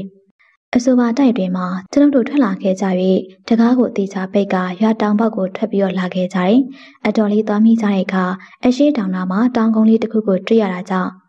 ကိုမြသည်ဟိုဘကဘာလဲဗျတောင်ကုန်းလေးလားငါလည်းမသိပါဘူးကွာ အဲ့လိုကိုမြသည်ကပြောလိုက်ပြီးမြဲကျွန်တော်တို့နဲ့အတူလိုက်လာနေတဲ့ညီလေးဖအောင်ကဝင်ပြောလိုက်နိုင်ပြီးတော့ရင်ဘိန်းတော်ဆရာမြတ်ကြီးတခါကပြောတဲ့ကြားဘူးတာကတော့ရှေးကအဆောင်တစ်ခုတဲ့မျိုးစားတယောက်ပိုင်းနဲ့ရဲတိုက်ဟောင်းလို့လည်းပြောတာပဲအကိုရအေးကွာဘိန်းတော်ဆရာမြတ်ကြီးတို့ဆိုတာကအကိုတို့တာမန်လူတွေမမြင်တွေ့နိုင်တဲ့ပရာလောကသားတွေနဲ့ပါဆက်ဆံနေရတဲ့ဆရာကြီးတဆူဆိုတော့ဟုတ်မှာပေါ့ အဲ့လိုကျုပ်တို့သုံးယောက်သားစကားပြောရင်တောင်ကုန်းလေးလိုဖြစ်နေတဲ့နေရာကိုလှည့်ပတ်ကြည့်ရှုရာတချို့နေရာမှာအုပ်ကျိုးအုပ်ပဲတွေကိုတွေ့ရတယ်။ဟေးမောင်ပတိုက်လာပါကွာဒီနားမှာနေရတာငါတော့စိတ်မသွမတန်ဖြစ်ပြီးတော့ချက်သေးတပြင်းပြင်းထလာတာသွားကြစို့ကွာပြောပြောဆိုဆိုနဲ့ကိုမြသီးကထွက်သွားတာကြောင့်မောင်ဖတိုက်တို့ညီကိုနှစ်ယောက်လည်းထွက်လာခဲ့ကြရတယ်ဘယ်လိုလဲဗျကိုမြသည်ခမည်းကတစီကြောက်တယ်လို့လားတခြားနေရာမှာတော့တက်တီကောင်းပြီးဒီနေရာမှာကြောက်ရသလားဗျဟေး တစီတော့ငါကြောက်တယ်ကွာလူလူချင်းမျက်နှာချင်းဆိုင်ပြီးသူ့အနိုင်ငါအနိုင်ချဝင်နေတစီတရေဆိုတာကတော့မြင်ရတာမဟုတ်ဘူးကွာနောက်ကနေကြောပြင်ကိုများရလိုက်ရင်ဘယ်နဲ့လုံးမလဲအမလီပြောရင်းနဲ့တသိမွန်းကြီးနေထလာပြီမိကွာတစီဆိုတာတကယ်မှမရှိတာပဲဗျာကိုစိတ်က၆လက်နေတာပါဗျကျွန်တော်တို့ကတစီဆိုရင်လည်းမကြောက်ဘူးလူလူချင်းလည်းမကြောက်ဘူးညစ်မောင်မှောင်မဲမဲထဲမှာသမီးမပါအလင်းရတခုမှမပါရင်တော့တကယ်ကြောက်စရာကောင်းတာရှိရဲ့ဗျ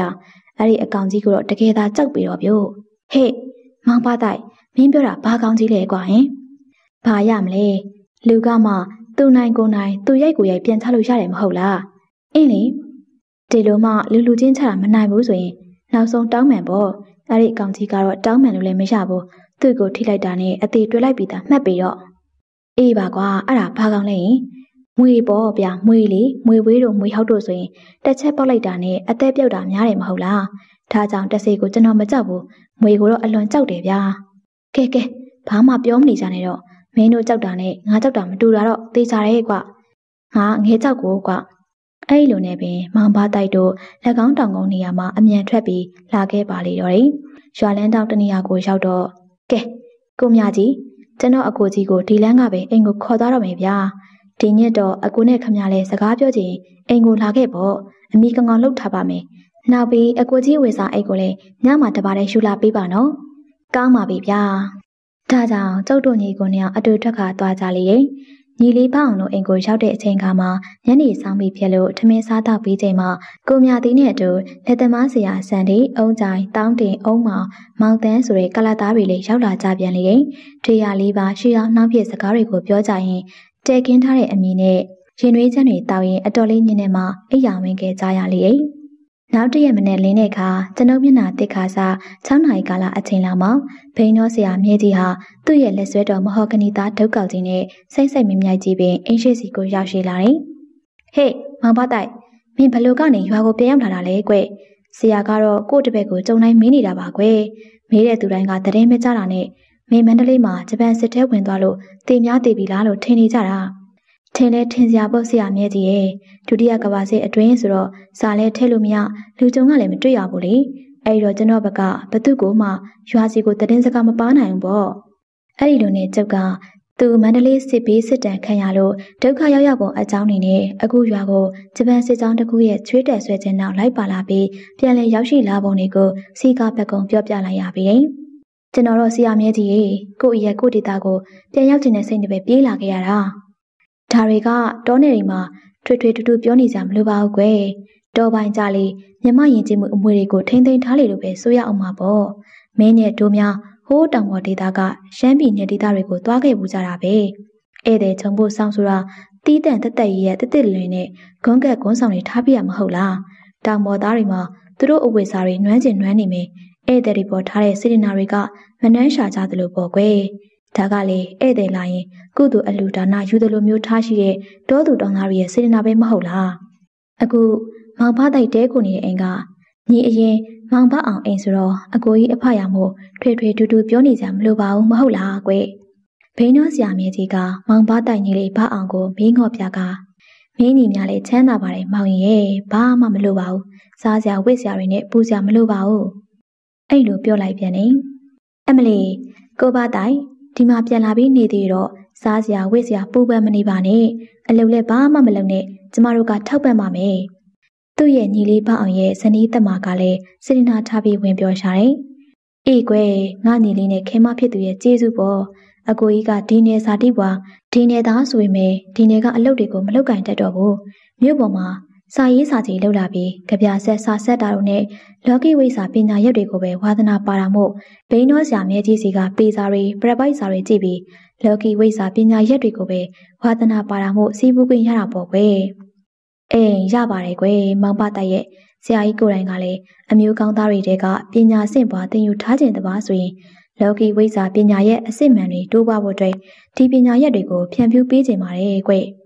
အဲ့ဒီလိုနဲ့မင်းကိုကစကန်းရွာတင်လေးရှိဘိန်းတော်စရာမြေကြီးတဲကိုတဲ့ဖုန်ကြီးကျောင်းစီကိုကျွန်ုပ်တယောက်အချိန်အားတိုင်းသွားရောက်ပြီးလောကီဘက်ဆိုင်ရာဘုဒ္ဓမျိုးစုံကိုတစ်ဖက်တစ်လမ်းမှလေ့လာစီဖို့ခဲ့လျင်အနောက်တိုင်းလောကတက်ပညာပဲဆိုင်ရာစာအုပ်တွေအရှေ့တိုင်းလောကီပညာတွေဖြစ်တဲ့ဂါထာမန်တန်နဲ့အင်းအိုင်လက်ဖွဲ့ပဲဆိုင်ရာအတက်ဆန်းတို့ရဲ့တက်တီတွေကိုဝေငှပညာပေးပါတော့တယ်။မောင်ပါတိုက်ရင်တို့မြန်မာပြည်မှာတိုက်တပောင်တန်ကြိုတွေဆိုတာအမျိုးမျိုးပေါ်ခဲ့တာလားကွ။ ဒီလိုဆိုရင်အခုတလောကျွန်တော်မန္တလေးမှာကြားခဲ့ရတဲ့တပောင်စကားကတော့အင်းကိုဟင်းသာစီးမိစင်းရင်မုတ်ဆိုးလေးနဲ့ခွဲမိထိုမုတ်ဆိုးကိုထီရိုးရိုက်မိထီရုပ်ကိုမိုးချိုပြမိဆိုတာပေါ့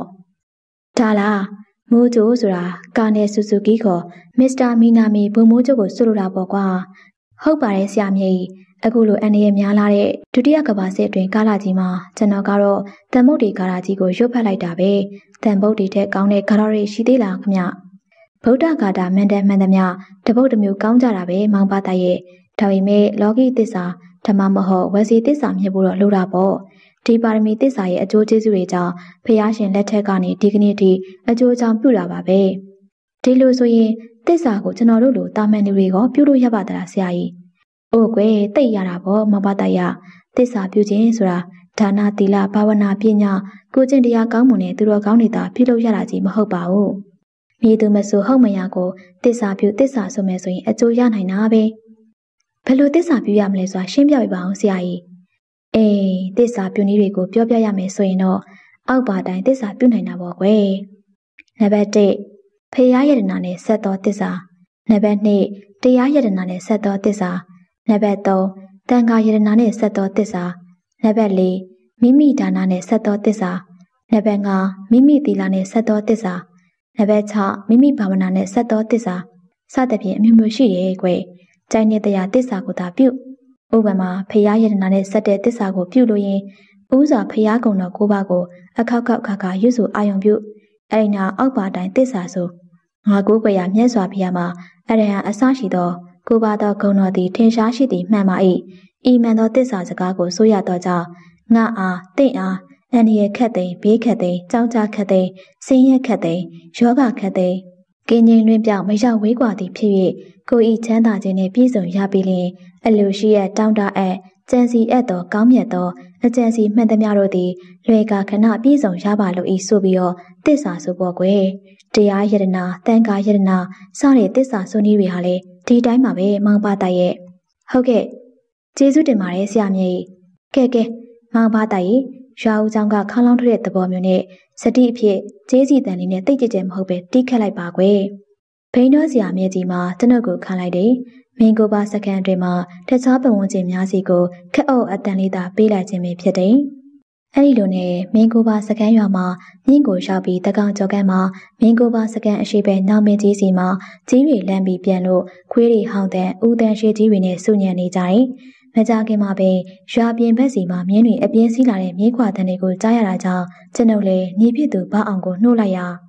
အကိုကြီးကျွန်တော်လည်းနိုးနေပါတယ်ဘာတွေလဲဗျရွာပြင်ဘက်ကမြင်းခွာတန်တွေကြားနေရတယ်ဂျပန်မြင်းတက်တွေများလာရော့သလားမဟုတ်တော့ပါဘူးကွာဂျပန်မြင်းတက်တွေမရှိတော့တော့ပါဘူးတခြားအကြောင်းကြောင့်ဖြစ်လိမ့်မယ်ထင်တယ်ကွာအဲ့ဒီလိုညီကိုနှစ်ယောက်တူတူအုပ်စကားပြောနေကြစဉ်အိမ်ကောင်းရင်မှဟေ့မောင်ဖားတိုက်ရေမောင်ဖားတိုက် အဲ့လိုအတန်ကိုအုပ်ကလှမ်းခေါ်လိုက်တဲ့အတန်ကိုကြားတာကြောင့်ဘသူလဲဗျကိုမြသေးလားအေးကွာထားစမ်းမအောင်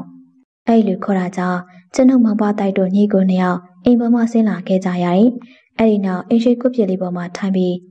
မြင်းခွာတန်နေကြားတယ်ကွာဂျပန်နေများတို့ရဲ့မင်းကိုပါစကန်ကိုလာများဝိုင်းလာရောသလားပဲကွာခမရွာတကားတွေကိုပိတ်ထားတယ်မဟုတ်လားဗျပိတ်ထားပါတယ်ရွာတကားပေါက်မှာဒီညကင်းဆောင်တဲ့ကလာသားတွေငါးစီကိုလာပြောကြတယ် မြင်းတွေများမြင်ရတယ်ပြောတာလားဘာမှတော့မမြင်ရဘူးတဲ့မြင်းခွာတဏိတာကြားနေရလို့ပြောကြတယ်ကွာဂျပန်တွေကမြင်းတက်မရှိတော့ပါဘူးဗျဘယ်လိုနည်းနဲ့မှဂျပန်မဟုတ်နိုင်တာတော့သိကြတယ်အကြောင်းတစ်ခုခုကြောင့်တော့ဖြစ်လိမ့်မယ်ဗျဘယ်လိုအကြောင်းလဲမဖတ်တိုက်ရရှင်းရှင်းလုပ်စမ်းပါအောင်ဘယ်လိုအကြောင်းလို့တော့အခုမပြောနိုင်သေးဘူးဗျဒါ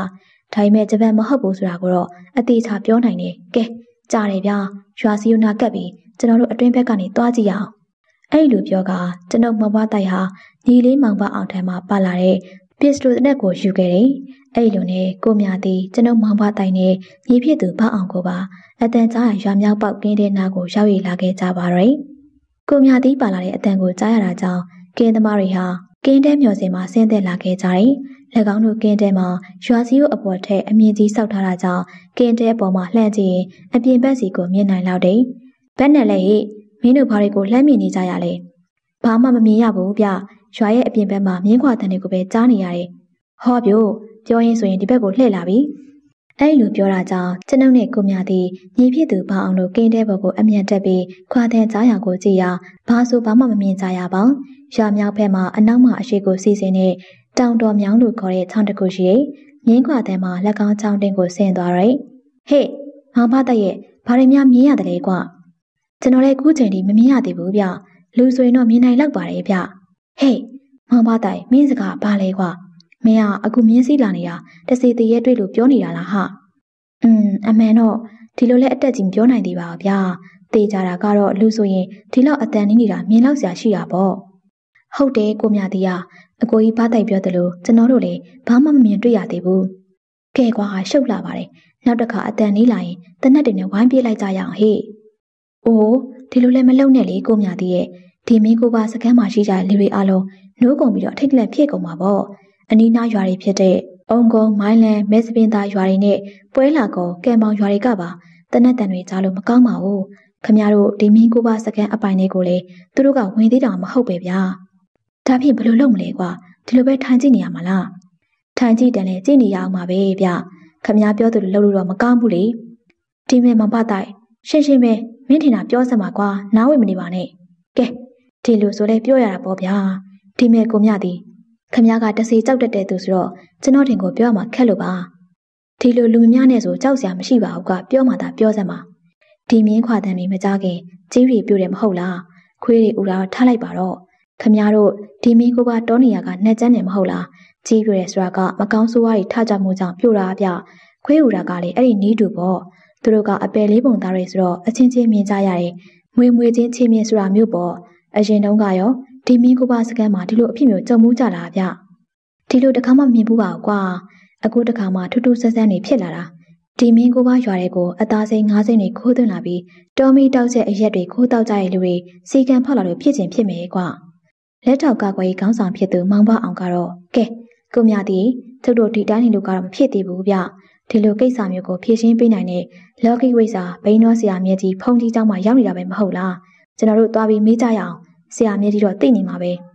အေးကောင်းသားပဲမောင်ဘအောင်ရကဲလာကွာငါတို့သွားပြီးတော့မေးကြရအောင်အဲ့လိုကိုမြသည်လေမောင်ဘအောင်ပြောလိုက်မှကြောက်ကြောက်နဲ့အကြံဉာဏ်တွေပေါက်လာတယ်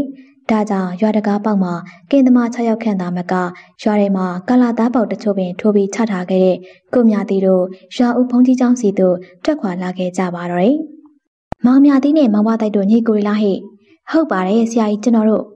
ကိုမြသည်ကသူရဲရဲဝံ့မပြောဝင်တာကြောင့်စကားထင်နေတာကြောင့်တဝက်တစ်ပြက်နဲ့တက်နေစဉ်။အော်အစောတုန်းကရွာပြင်ကတောချောက်လိုက်တဲ့ကြောင့်ငါးစီအယောက်ပြေးရောက်လာကြတယ်ထင်မဟုတ်ပါတယ်ဆရာမြတ်ကြီး။အေးအဲ့ဒါကြောင့်ဒီရွာဦးကျောင်းကဥပစင်နေနဲ့အေဒီနာတစ္ဆဝိစီနာဆိုတဲ့ရတနာတုတ်ကိုမင်းကိုပါတရွာလုံးရဲ့ဘေးရန်ရဲ့ကင်းစီဖို့အတွက်ရွတ်ဆိုပေးနေတာကွ ဒီမန်တန်တကိုးပရိတ်တကိုးတွေဆိုတာကသိပ်ပန်နီးကြကြရုတ်တဗေဒဆန်ဆန်ဘလို့မှစူးစမ်းကြံစီမရတယ်လို့မန်တန်တော်ပရိတ်တော်တွေကိုယုံယုံကြည်ကြည်နဲ့အမြင်ပြတ်ရွတ်ဖက်တဲ့ဆင်မယ်ဆိုရင်တကိုးတတိအာနိသင်တွေရှိရဲ့ကွဖះလက်ထက်တော်ကဝေသာလီပြည်ကြီးမှာဘေးကြီးကကြီးသုံးပါဆက်ရောက်ခဲ့တော့ကရတနာတုတ်တော်ကိုပဲရွတ်ဆိုဟောကြတာပဲမဟုတ်လားကွဟုတ်ကဲ့ပါဆရာကြီးရတနာတုတ်ကိုရွတ်ပြီးတော့ဆရာမြဲကြီးတယောက်တည်းတီးတန့်ရွတ်လိုက်တဲ့ကာရာတော်ကရောဘလို့ကာရာတော်ပါလဲဗျ အဲဒီကာရာတော်ကတော့စလင်းမျိုးစားကြီးစီသူကြော်ထင်ရွတ်ဆိုတဲ့ရန်အောင်မြင်ကာရာတော်တဲ့ဒီစလင်းမျိုးစားကြီးစီသူကြော်ထင်ဟာဂုံတော်ကိုးပါးကိုတနေ့ကိုတထောင်ပတိစိတ်ပြီးရင်ဒီရန်အောင်မြင်ကာရာတော်ကြီးကိုလည်းတနေ့ကိုတထောင်ရုပ်ဖတ်တဲ့စရိတ်ရှိရဲ့တဲ့ဒါကြောင့်လဲစီသူကြော်ထင်ဟာစစ်တိုက်တိုင်းအနိုင်ရခဲ့တဲ့တဲ့ဒီနေ့မှာသူစင်းရမတူဟာအိမ်နိုင်တူးရကရွှေအိုးတစ်လုံးတူးဖို့ရခဲ့တာမို့ရှင်ဘရင်ဖြစ်သူစီသူကြော်တင်ကိုဆက်တာဖို့ယူဆောင်လာတယ်။ ဒီအချိန်မှာစီသူကြော်တင်ဟာစကိုင်းဘရင်ဖြစ်ရောက်ရှိခဲ့တာပေါ့။ဘာကြောင့်လဲဆိုတော့ဒီကာလာတော်ဟာမြတ်စွာဘုရားရဲ့အောင်တော်မူခဲ့တဲ့ပုံလေးကိုဖွဲ့နဲ့တီးကုံထားတာမို့လို့အခုလိုဘေးရန်ရဲ့ကြာရောက်ချိန်ဒီမှာယုံကြည်စိတ်ချစွာနဲ့ရုပ်ဖက်တဲ့ဆင်နေတင်တာပေါ့ကွယ်။ကဲဒီလိုဆိုရင်ဘိန်းတော်ဆရာမြတ်ကြီးကိုဒီမင်းကိုပါစကန်အနီးနားမှာကြာရောက်လာတော့မယ်။ဖြစ်ရမယ်အနေကိုမေးကြည့်ကြပါရယ်။အစောတုန်းကကြားရတဲ့မြင်းခွာတဲ့နေရာလက်ကောင်းစွာတွေလို့ပြောနိုင်တယ်ဖြစ်ပါမလား ဖြစ်တာပေါ့မောင်မြတည်းရဲ့မောင်ပါတိုက်တို့ပြောတဲ့အတိုင်းပဲအဲ့ဒီမြင်းခွာတဲ့နေရာအနီးကလေးကကြားနေရပြီးအကောင်ထရဲလို့မြင်တွေ့ကြရလားအားလုံးကတော့မမြင်တွေ့ရဘူးလို့ပြောတယ်ကျုပ်အလူကတော့နောက်တစ်ခါမြင်းခွာတန်နဲ့နီးလာမယ်ဆိုရင်တနက်တွေနဲ့ဝိုင်းပြီးတော့စုပစ်မယ်လို့ကြိမ်းထားတာဒီလိုမလုပ်နဲ့လေမောင်မြသေးရဲ့အရင်ကဒီမင်းကိုပါစကန်ကိုအပိုင်စားရတဲ့မျိုးစားကြီးများဖြစ်နေအားလုံးဒုက္ခရောက်ကုန်ပါမယ်ကွယ် ဒါဖြင့်အခုဒီမင်းခွာတန်တွေကဘာရဲ့လို့ဆရာမြဲကြီးလည်းအတိအကျပြောပြနိုင်သေးဘူးပေါ့အားမလို့အားမရစိမ့်နဲ့ကိုမြသေးမှာဘိန်းတော်ဆရာမြဲကြီးကိုပြန်မေးလိုက်ခြင်းမင်းမကောင်းဆိုးရတန်တော့အမှန်ပဲကွာဒါပေမဲ့ဘယ်လိုမကောင်းဆိုးရဆိုတာရဲ့လို့တော့ဆရာကြီးလည်းအတက်မသိသေးဘူးနောက်မှဖြည်းဖြည်းချင်းသိအောင်လုပ်ရမှာပဲပေါ့ဒါဖြင့်ကျွန်တော်တို့ကတညလုံးဒီလိုမအိပ်ပဲနေရတော့မှလားဗျ။အိုကွယ်ပကံညောင်းမှာကမ်းပြူတာနဲ့စပက်နဲ့ကိုနှမကြီးပေါင်ထူတာဆိုတယ်လို့ပေါ့။ သူတို့မြင်းနေပြင်းနေတာမောတော့ငြိမ်သွားမှာပေါ့။ရွာကိုတော့အန်ဒီရမရှိစရာအရက်စင်မျက်နှာကြိုးရှိလုံးစီးချခါရတော့ကြီးနဲ့တားစီထားလိုက်ပါမယ်စိတ်ချပါ။ကဲဒီလိုဖြင့်ပြီးရောဗျာကျွန်တော်တို့တော့အိမ်ပြန်ပြီးအိတ်တော်မယ်။အိတ်ချင်လဲသွားအိတ်ပါလိကွယ်။ရွာထဲမှာဘလို့အန်ဒီရမျိုးမှကျူးကျော်ဝင်ရမလာနိုင်ပါဘူး။အဲ့ဒီလိုဘိန်းတော်ဆရာမြဲကြီးမှာအတန်တမင်အာမခံပြောနေတာကြောင့်ရွာထဲမှာလိုက်လာတဲ့ကြော်ညွန့်စံတီအောင်မောင်အုံးကြိုင်မောင်တန်းတို့နဲ့အတူပြန်လဲလိုက်ပါသွားလေရောတယ်။ အဲ့ဒီလိုနဲ့ကျွန်ုပ်တို့ညီကိုနှစ်ယောက်နဲ့ဘိန်းတော်ဆရာမြဲကြီးတို့သုံးသာကျောင်းပေါ်မှာရင်းနှန်းစီမိအိမ်တလုံးနဲ့ကြံ့ရင်နေကြတယ်။ရွာဦးကျောင်းဥပစင်လေးဥပန်နေတာပဲသူ့ရဲ့ကြက်တီကအတွင်းထဲကိုကျိန်းစဲအနားယူဖို့ဝင်ရောက်သွားပြီ။ဒါကြောင့်ကျွန်ုပ်ကဒန်းလော်စီးတန်အိုရဲကိုဆေးရီတိတ်ထည့်ပြီးဘိန်းတော်ဆရာကြီးမြဲကြီးကတိလို့စောနဲ့ထက်မှန်မေးလိုက်ပြန်တယ်။ဘိန်းတော်ဆရာမြဲကြီးကဘာရဲလို့တိတိကျကျအကောင့်ထဲမပေါ်နိုင်သေးတာတကယ်ပဲလားဆရာကြီးဆရာကြီးအနေနဲ့ ဘာရဲလို့မပြောပြနိုင်သေးဘူးဆိုတာအမှန်တကယ်ပဲပေါ့ကွယ်ဒါပေမဲ့အကြောင်းတစ်ခုပေါ်လာပြီးမကြခင်မှာသိရမှာပေါ့မောင်မတိုက်ရဲ့ဒီမင်းကိုပါစကန်ရဲ့အရှိတောင်ဘက်မှာတောင်ကုန်းလေးလိုဖြစ်နေတဲ့အဆောက်ကဘာဆောက်လဲဗျ။အော်အဲ့ဒီညာကိုမောင်မတိုက်ရက်ခတ်ပြီးပြီလား။အဲ့ဒါတဆင့်စကားတဆင့်နာကြဖို့တဲ့ရှေးလူကြီးတွေပြောစကားရတော့ဒီမင်းကိုပါစခန်းရဲ့မျိုးစားကြီးအဆောက်လို့တော့ပြောကြတာပဲကွဟုတ်လားဆရာကြီးဒီအကြောင်းတွေစုံစမ်းသိရှိပြီပေါ့อืม ဒီမင်းကိုပါစခန်းကိုဆရာကြီးရောက်စားတဲ့ကအဲ့ဒီအစာအုပ်ဟောင်းရဲ့အကြောင်းရင်းဆက်မြစ်ကိုသိအောင်လုပ်မလို့ပဲဒါပေမဲ့ဒီမင်းကိုပါစခန်းသားမကရွာနီးချုပ်ဆက်ရွာတွေမှာဆေးကူစရာလူနာတွေနဲ့တနေ့မပြတ်နေရတာမို့အခုချိန်မျိုးထိကြာမြင့်လာခဲ့တာပဲမကောင်းဆိုးအတန်တွေကိုညစဉ်လုပ်နေမယ်ဆိုရင်တော့မင်းကိုပါစခန်းမှာနေထိုင်ကြတဲ့ရွာသူရွာသားတွေကြောက်လန့်ပြီးတော့ဒုက္ခရောက်ကုန်မှာစိုးရင်ရတယ်မဟုတ်လားဘိန်းတော်ဆရာမြတ်ကြီးရဲ့ဒီလိုလဲပဲပြစ်ခံပါမလဲကွယ်ဆရာကြီးတို့အနေနဲ့ကြည့်ပြီးစီစဉ်ရမှာပေါ့ မကြခင်အမှုမှန်ကိစ္စတခုခုတော့ဖော်ထုတ်လာနိုင်မှာပါကွယ်ညင်းနေလာတဲ့ကျုံနဲ့မောင်ဖောက်အောင်တို့ညီကိုနှစ်ယောက်လည်းအိမ်စီကိုပြန်လဲအိတ်ခဲ့ကြပါတော့။ဒါပေမဲ့ဘိန်းတော်ဆရာမြတ်ကြီးကိုယ်တိုင်နှုတ်မှဖွင့်ရပြောလိုက်တဲ့မကောင်ဆိုးဝါးတန်လို့ခေါ်တဲ့မြင်းခွာတန်တွေကတော့မပြောက်ပြဲသွားသည်။တခါတရံပေါ်ပေါက်လာကြသည် ဒါပေမဲ့အရင်အခါတုန်းကလောက်တော့အတန်ကြီးစူညံမနေတာကြောင့်အိတ်ဆဲခဲ့ရတယ်။မနေ့6နာရီလောက်ရောက်တဲ့အခါအိတ်ရမှာနိုးလာတာကြောင့်ကျွန်ုပ်လည်းဘိန်းတော်ဆရာမြကြီးပြောထားတဲ့အတိုင်းတောက်ရည်တော်ကက်စွန်းတော်တင်ကဖျားရှိကိုပြီးညီကိုနှစ်ယောက်စကားပြောရင်အိမ်ရှိမှလည်းဖရိတ်ချန်တောက်နေကြတယ်။အဲဒီကညီဖြစ်သူမောင်ဘအောင်ရဲ့တမီကြီးမီလာကရာဦးကျောင်းမှာဖုန်ကြီးကျောင်းသားလေးတူလာခေါ်နေကြောင်းလာပြောတယ်။မကြခင်အဲ့ဒီကျောင်းသားလေးရောက်လာပြီးဖုန်ကြီးကခဏလာခဲ့ပါအောင်လို့အခေါ်လှုပ်လိုက်လို့ဗျ။အေးအေး ငါတို့ခုပဲလိုက်ခဲ့မယ်။အဲဒီလိုနဲ့ဖုန်ကြီးချောင်းကိုကျွန်ုပ်တို့ညီကိုနှစ်ယောက်ရောက်လာတဲ့အခါဥပစင်းလေးကိုထိုင်ပြီးဥချကြတော့လိုက်တယ်။ဒန်းလော်စစ်တန်ကြီးခင်းနေတဲ့ဘိန်းတော်ဆရာမြဲကြီးကကျွန်ုပ်တို့ညီကိုနှစ်ယောက်ကိုပြုံးပြုံးကြီးကြည့်နေက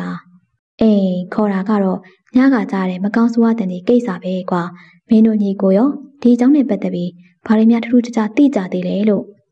ကျွန်တော်တို့လည်းအိတ်နေနေမကောင်းဆိုးရရဲ့မြင်းခွာတန်တွေကိုကြားရတဲ့ချက်မကြားရတဲ့ချက်နဲ့နောက်ဆုံးအိပ်ပျော်သွားကြပြီးဘာဆိုဘာမှမသိကြတော့ပါဘူးဗျာ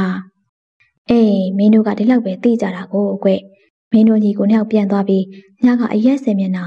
ချိုရှည်လုံးစီးချခါလာတော်ကြီးကိုဆက်ပြီးရုပ်ဖက်တဲ့စင်နေတော့ကျောင်းတော်ဘက်မှာဈင်းညံသွားနေတယ်။ညင်းတကောင်လောက်ရောက်တော့အဆော်ရိစီကစကားများကြတဲ့အတန်တွေကြားရတယ်ကွ။တဖြည်းဖြည်းနဲ့အတန်တွေကျဲလာပြီးတအုပ်ကိုတူအခြေတင်အော်ဟစ်ပြောတန်တွေကြားရတယ်။မကြခင်ရိုက်ကြနှက်ကြတဲ့အတန်တွေကြားတာနဲ့အဲ့ဒီနာဆရာကြီးတဲ့ချင်းကက်သွားလိုက်တာပေါ့။ ဒါပေမဲ့အနားကိုရောက်တော့အတန်လေးပျောက်သွားပြန်တယ်။ဘာအတန်လေးမှမကြားရတော့ဘူး။ဘာမှလည်းမတွေ့ရဘူးကွ။อืมဆရာကြီးစိတ်ထဲမှာတော့ဒီအတန်တွေဟာမူမမှန်တဲ့အတန်တွေမဟုတ်နိုင်ဘူးလို့တွေးလိုက်မိရတယ်။လှည့်ပြန်လာခဲ့တာကွ။အေးဒါပေမဲ့ဆရာကြီးကျောင်းပေါ်ပြရအောင်လို့မှကွန်းတရာနှစ်လောက်ရှိပါအောင်မယ်။ကြီးရီပြိုးခွေးတွေဝိုင်းအောင်ကြတဲ့အတန်တွေကိုကြားရတယ်။ဒီလိုကြားပြီးမြင်းခွာတန်တွေပြန်ကြားလိုက်ရတာနိုင်ပြန်နှစ်ချက်ထိုးမှပဲပြန်မကြားရတော့တာ။အဲ့ဒီကိစ္စတွေ မင်းတို့များသိကြမလားမကောင်းဆိုးဝါးတန်တွေပြန်လဲကြားရမလားလို့အခုလိုခေါ်မေးလိုက်ရတာတကယ်တော့ဒီမကောင်းဆိုးဝါးတန်တွေဟာမင်းကိုပါစကမ်းမှာရှိတဲ့ရွာသူရွာသားတွေအတွေ့တဲပြီးမကောင်းလာတဲ့အတိတ်နိမိတ်တွေပဲကြီးကျယ်ဆောင်ကြည့်ပြီးကာကွယ်ခုခံရမယ့်ကိစ္စတွေဖြစ်နေပြီကွကျွန်တော်တို့ကအမှန်ပြောရမယ်ဆိုရင်ငယ်ရွယ်သေးသူတွေဖြစ်နေသေးလို့ဆရာကြီးမြဲကြီးတို့လိုအတွေ့အကြုံရင့်ကျက်လာတဲ့ပုဂ္ဂိုလ်ကြီးတွေရဲ့အဆုံးဖြတ်စီရင်ကိုနားခံပြီးလှေခွက်ကြီးကြံအလံမလဲစတန်းဆိုသလိုတွန်းလှန်လိုက်ခိုက်ဖို့အစင်းသိမှာပဲ အဲ့လိုကျုပ်ညီလေးမောင်ပအောင်ကရဲရဲဝံ့ပင်ဆိုလိုက်တယ်။အဲ့လိုနဲ့ကျုပ်တို့ညီကိုနှစ်ယောက်ဆုံးဖြတ်ချိန်ကိုရောက်ရှိလာတာကြောင့်ဖုန်ကြီးဆောင်မအင်စီကိုပြန်လာခဲ့ကြတယ်။အိမ်ရောက်တော့ခင်မဖြစ်သူတက်မကချက်ပြုတ်ထားတဲ့ထမင်းဟင်းတွေကိုမနှက်စာဖြင့်စားတော့ရင်ဘယ်နဲ့လဲကွာညီလေးရဘိန်းတော်ဆရာကြီးမြတ်ကြီးရဲ့လောကီပညာစကန်ကအတော်လေးအစင်တန်မြင့်နေပြီမဟုတ်လားအဲ့လိုမေးလိုက်မိပါတယ်မြင့်နေအကိုဘတာရေရက်သေး၈000ဆရာအပေါင်းကြီးရဲ့ လောကီဝိဇ္ဇာအထက်လန်းပညာတွေကိုတစ်ဖက်ကန်းခက်လက်အောင်ကိုပိုင်နိုင်နေတဲ့ဆရာမြဲကြီးဟာအထက်လန်းဆရာကြီးတစုပါပဲ။အေးဒီလိုဆိုရင်ဒီမင်းကိုပါစခန်းကိုနှောက်ရှက်လာတဲ့မကောင်းဆိုးဝါရန်သူမှန်သမျှကိုတော့သူပဲအမြန်ဆုံးနဲ့ဖြေရှင်းနိုင်မှာပေါ့ကွာ။อืม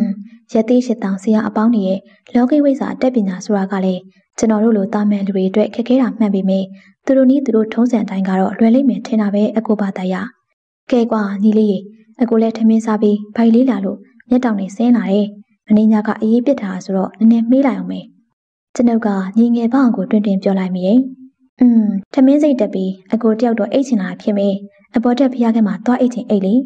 အေးအေးအဲ့ဒီလိုနဲ့ကျွန်ုပ်တယောက်ညီလေးပေါအောင်ထမခွင့်ပြုချက်ရခဲ့တာတကြောင်သွေးလေးလာကြောင်အိမ်မော်တက်ပြီးတော့မှီဆဲလိုက်နေတော့တယ်နေ့လယ်စာထမင်းစားတောက်ရီမိုးချုပ်ပြီးနောက်မှာညီကိုနှစ်ယောက်ဘိန်းတော်ဆရာမြတ်ကြီးရှိတဲ့ရွာဖုံးကြီးကျောင်းကိုရောက်ကြပြန်နေ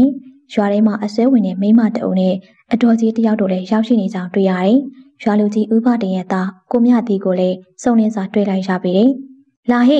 မင်းတို့ညီကိုနှစ်ယောက်လာလိမ့်မယ်လို့ဆရာမြဲကြီးပြောရတယ်ဒီကပဲထိုင်းဆောင်နေတာ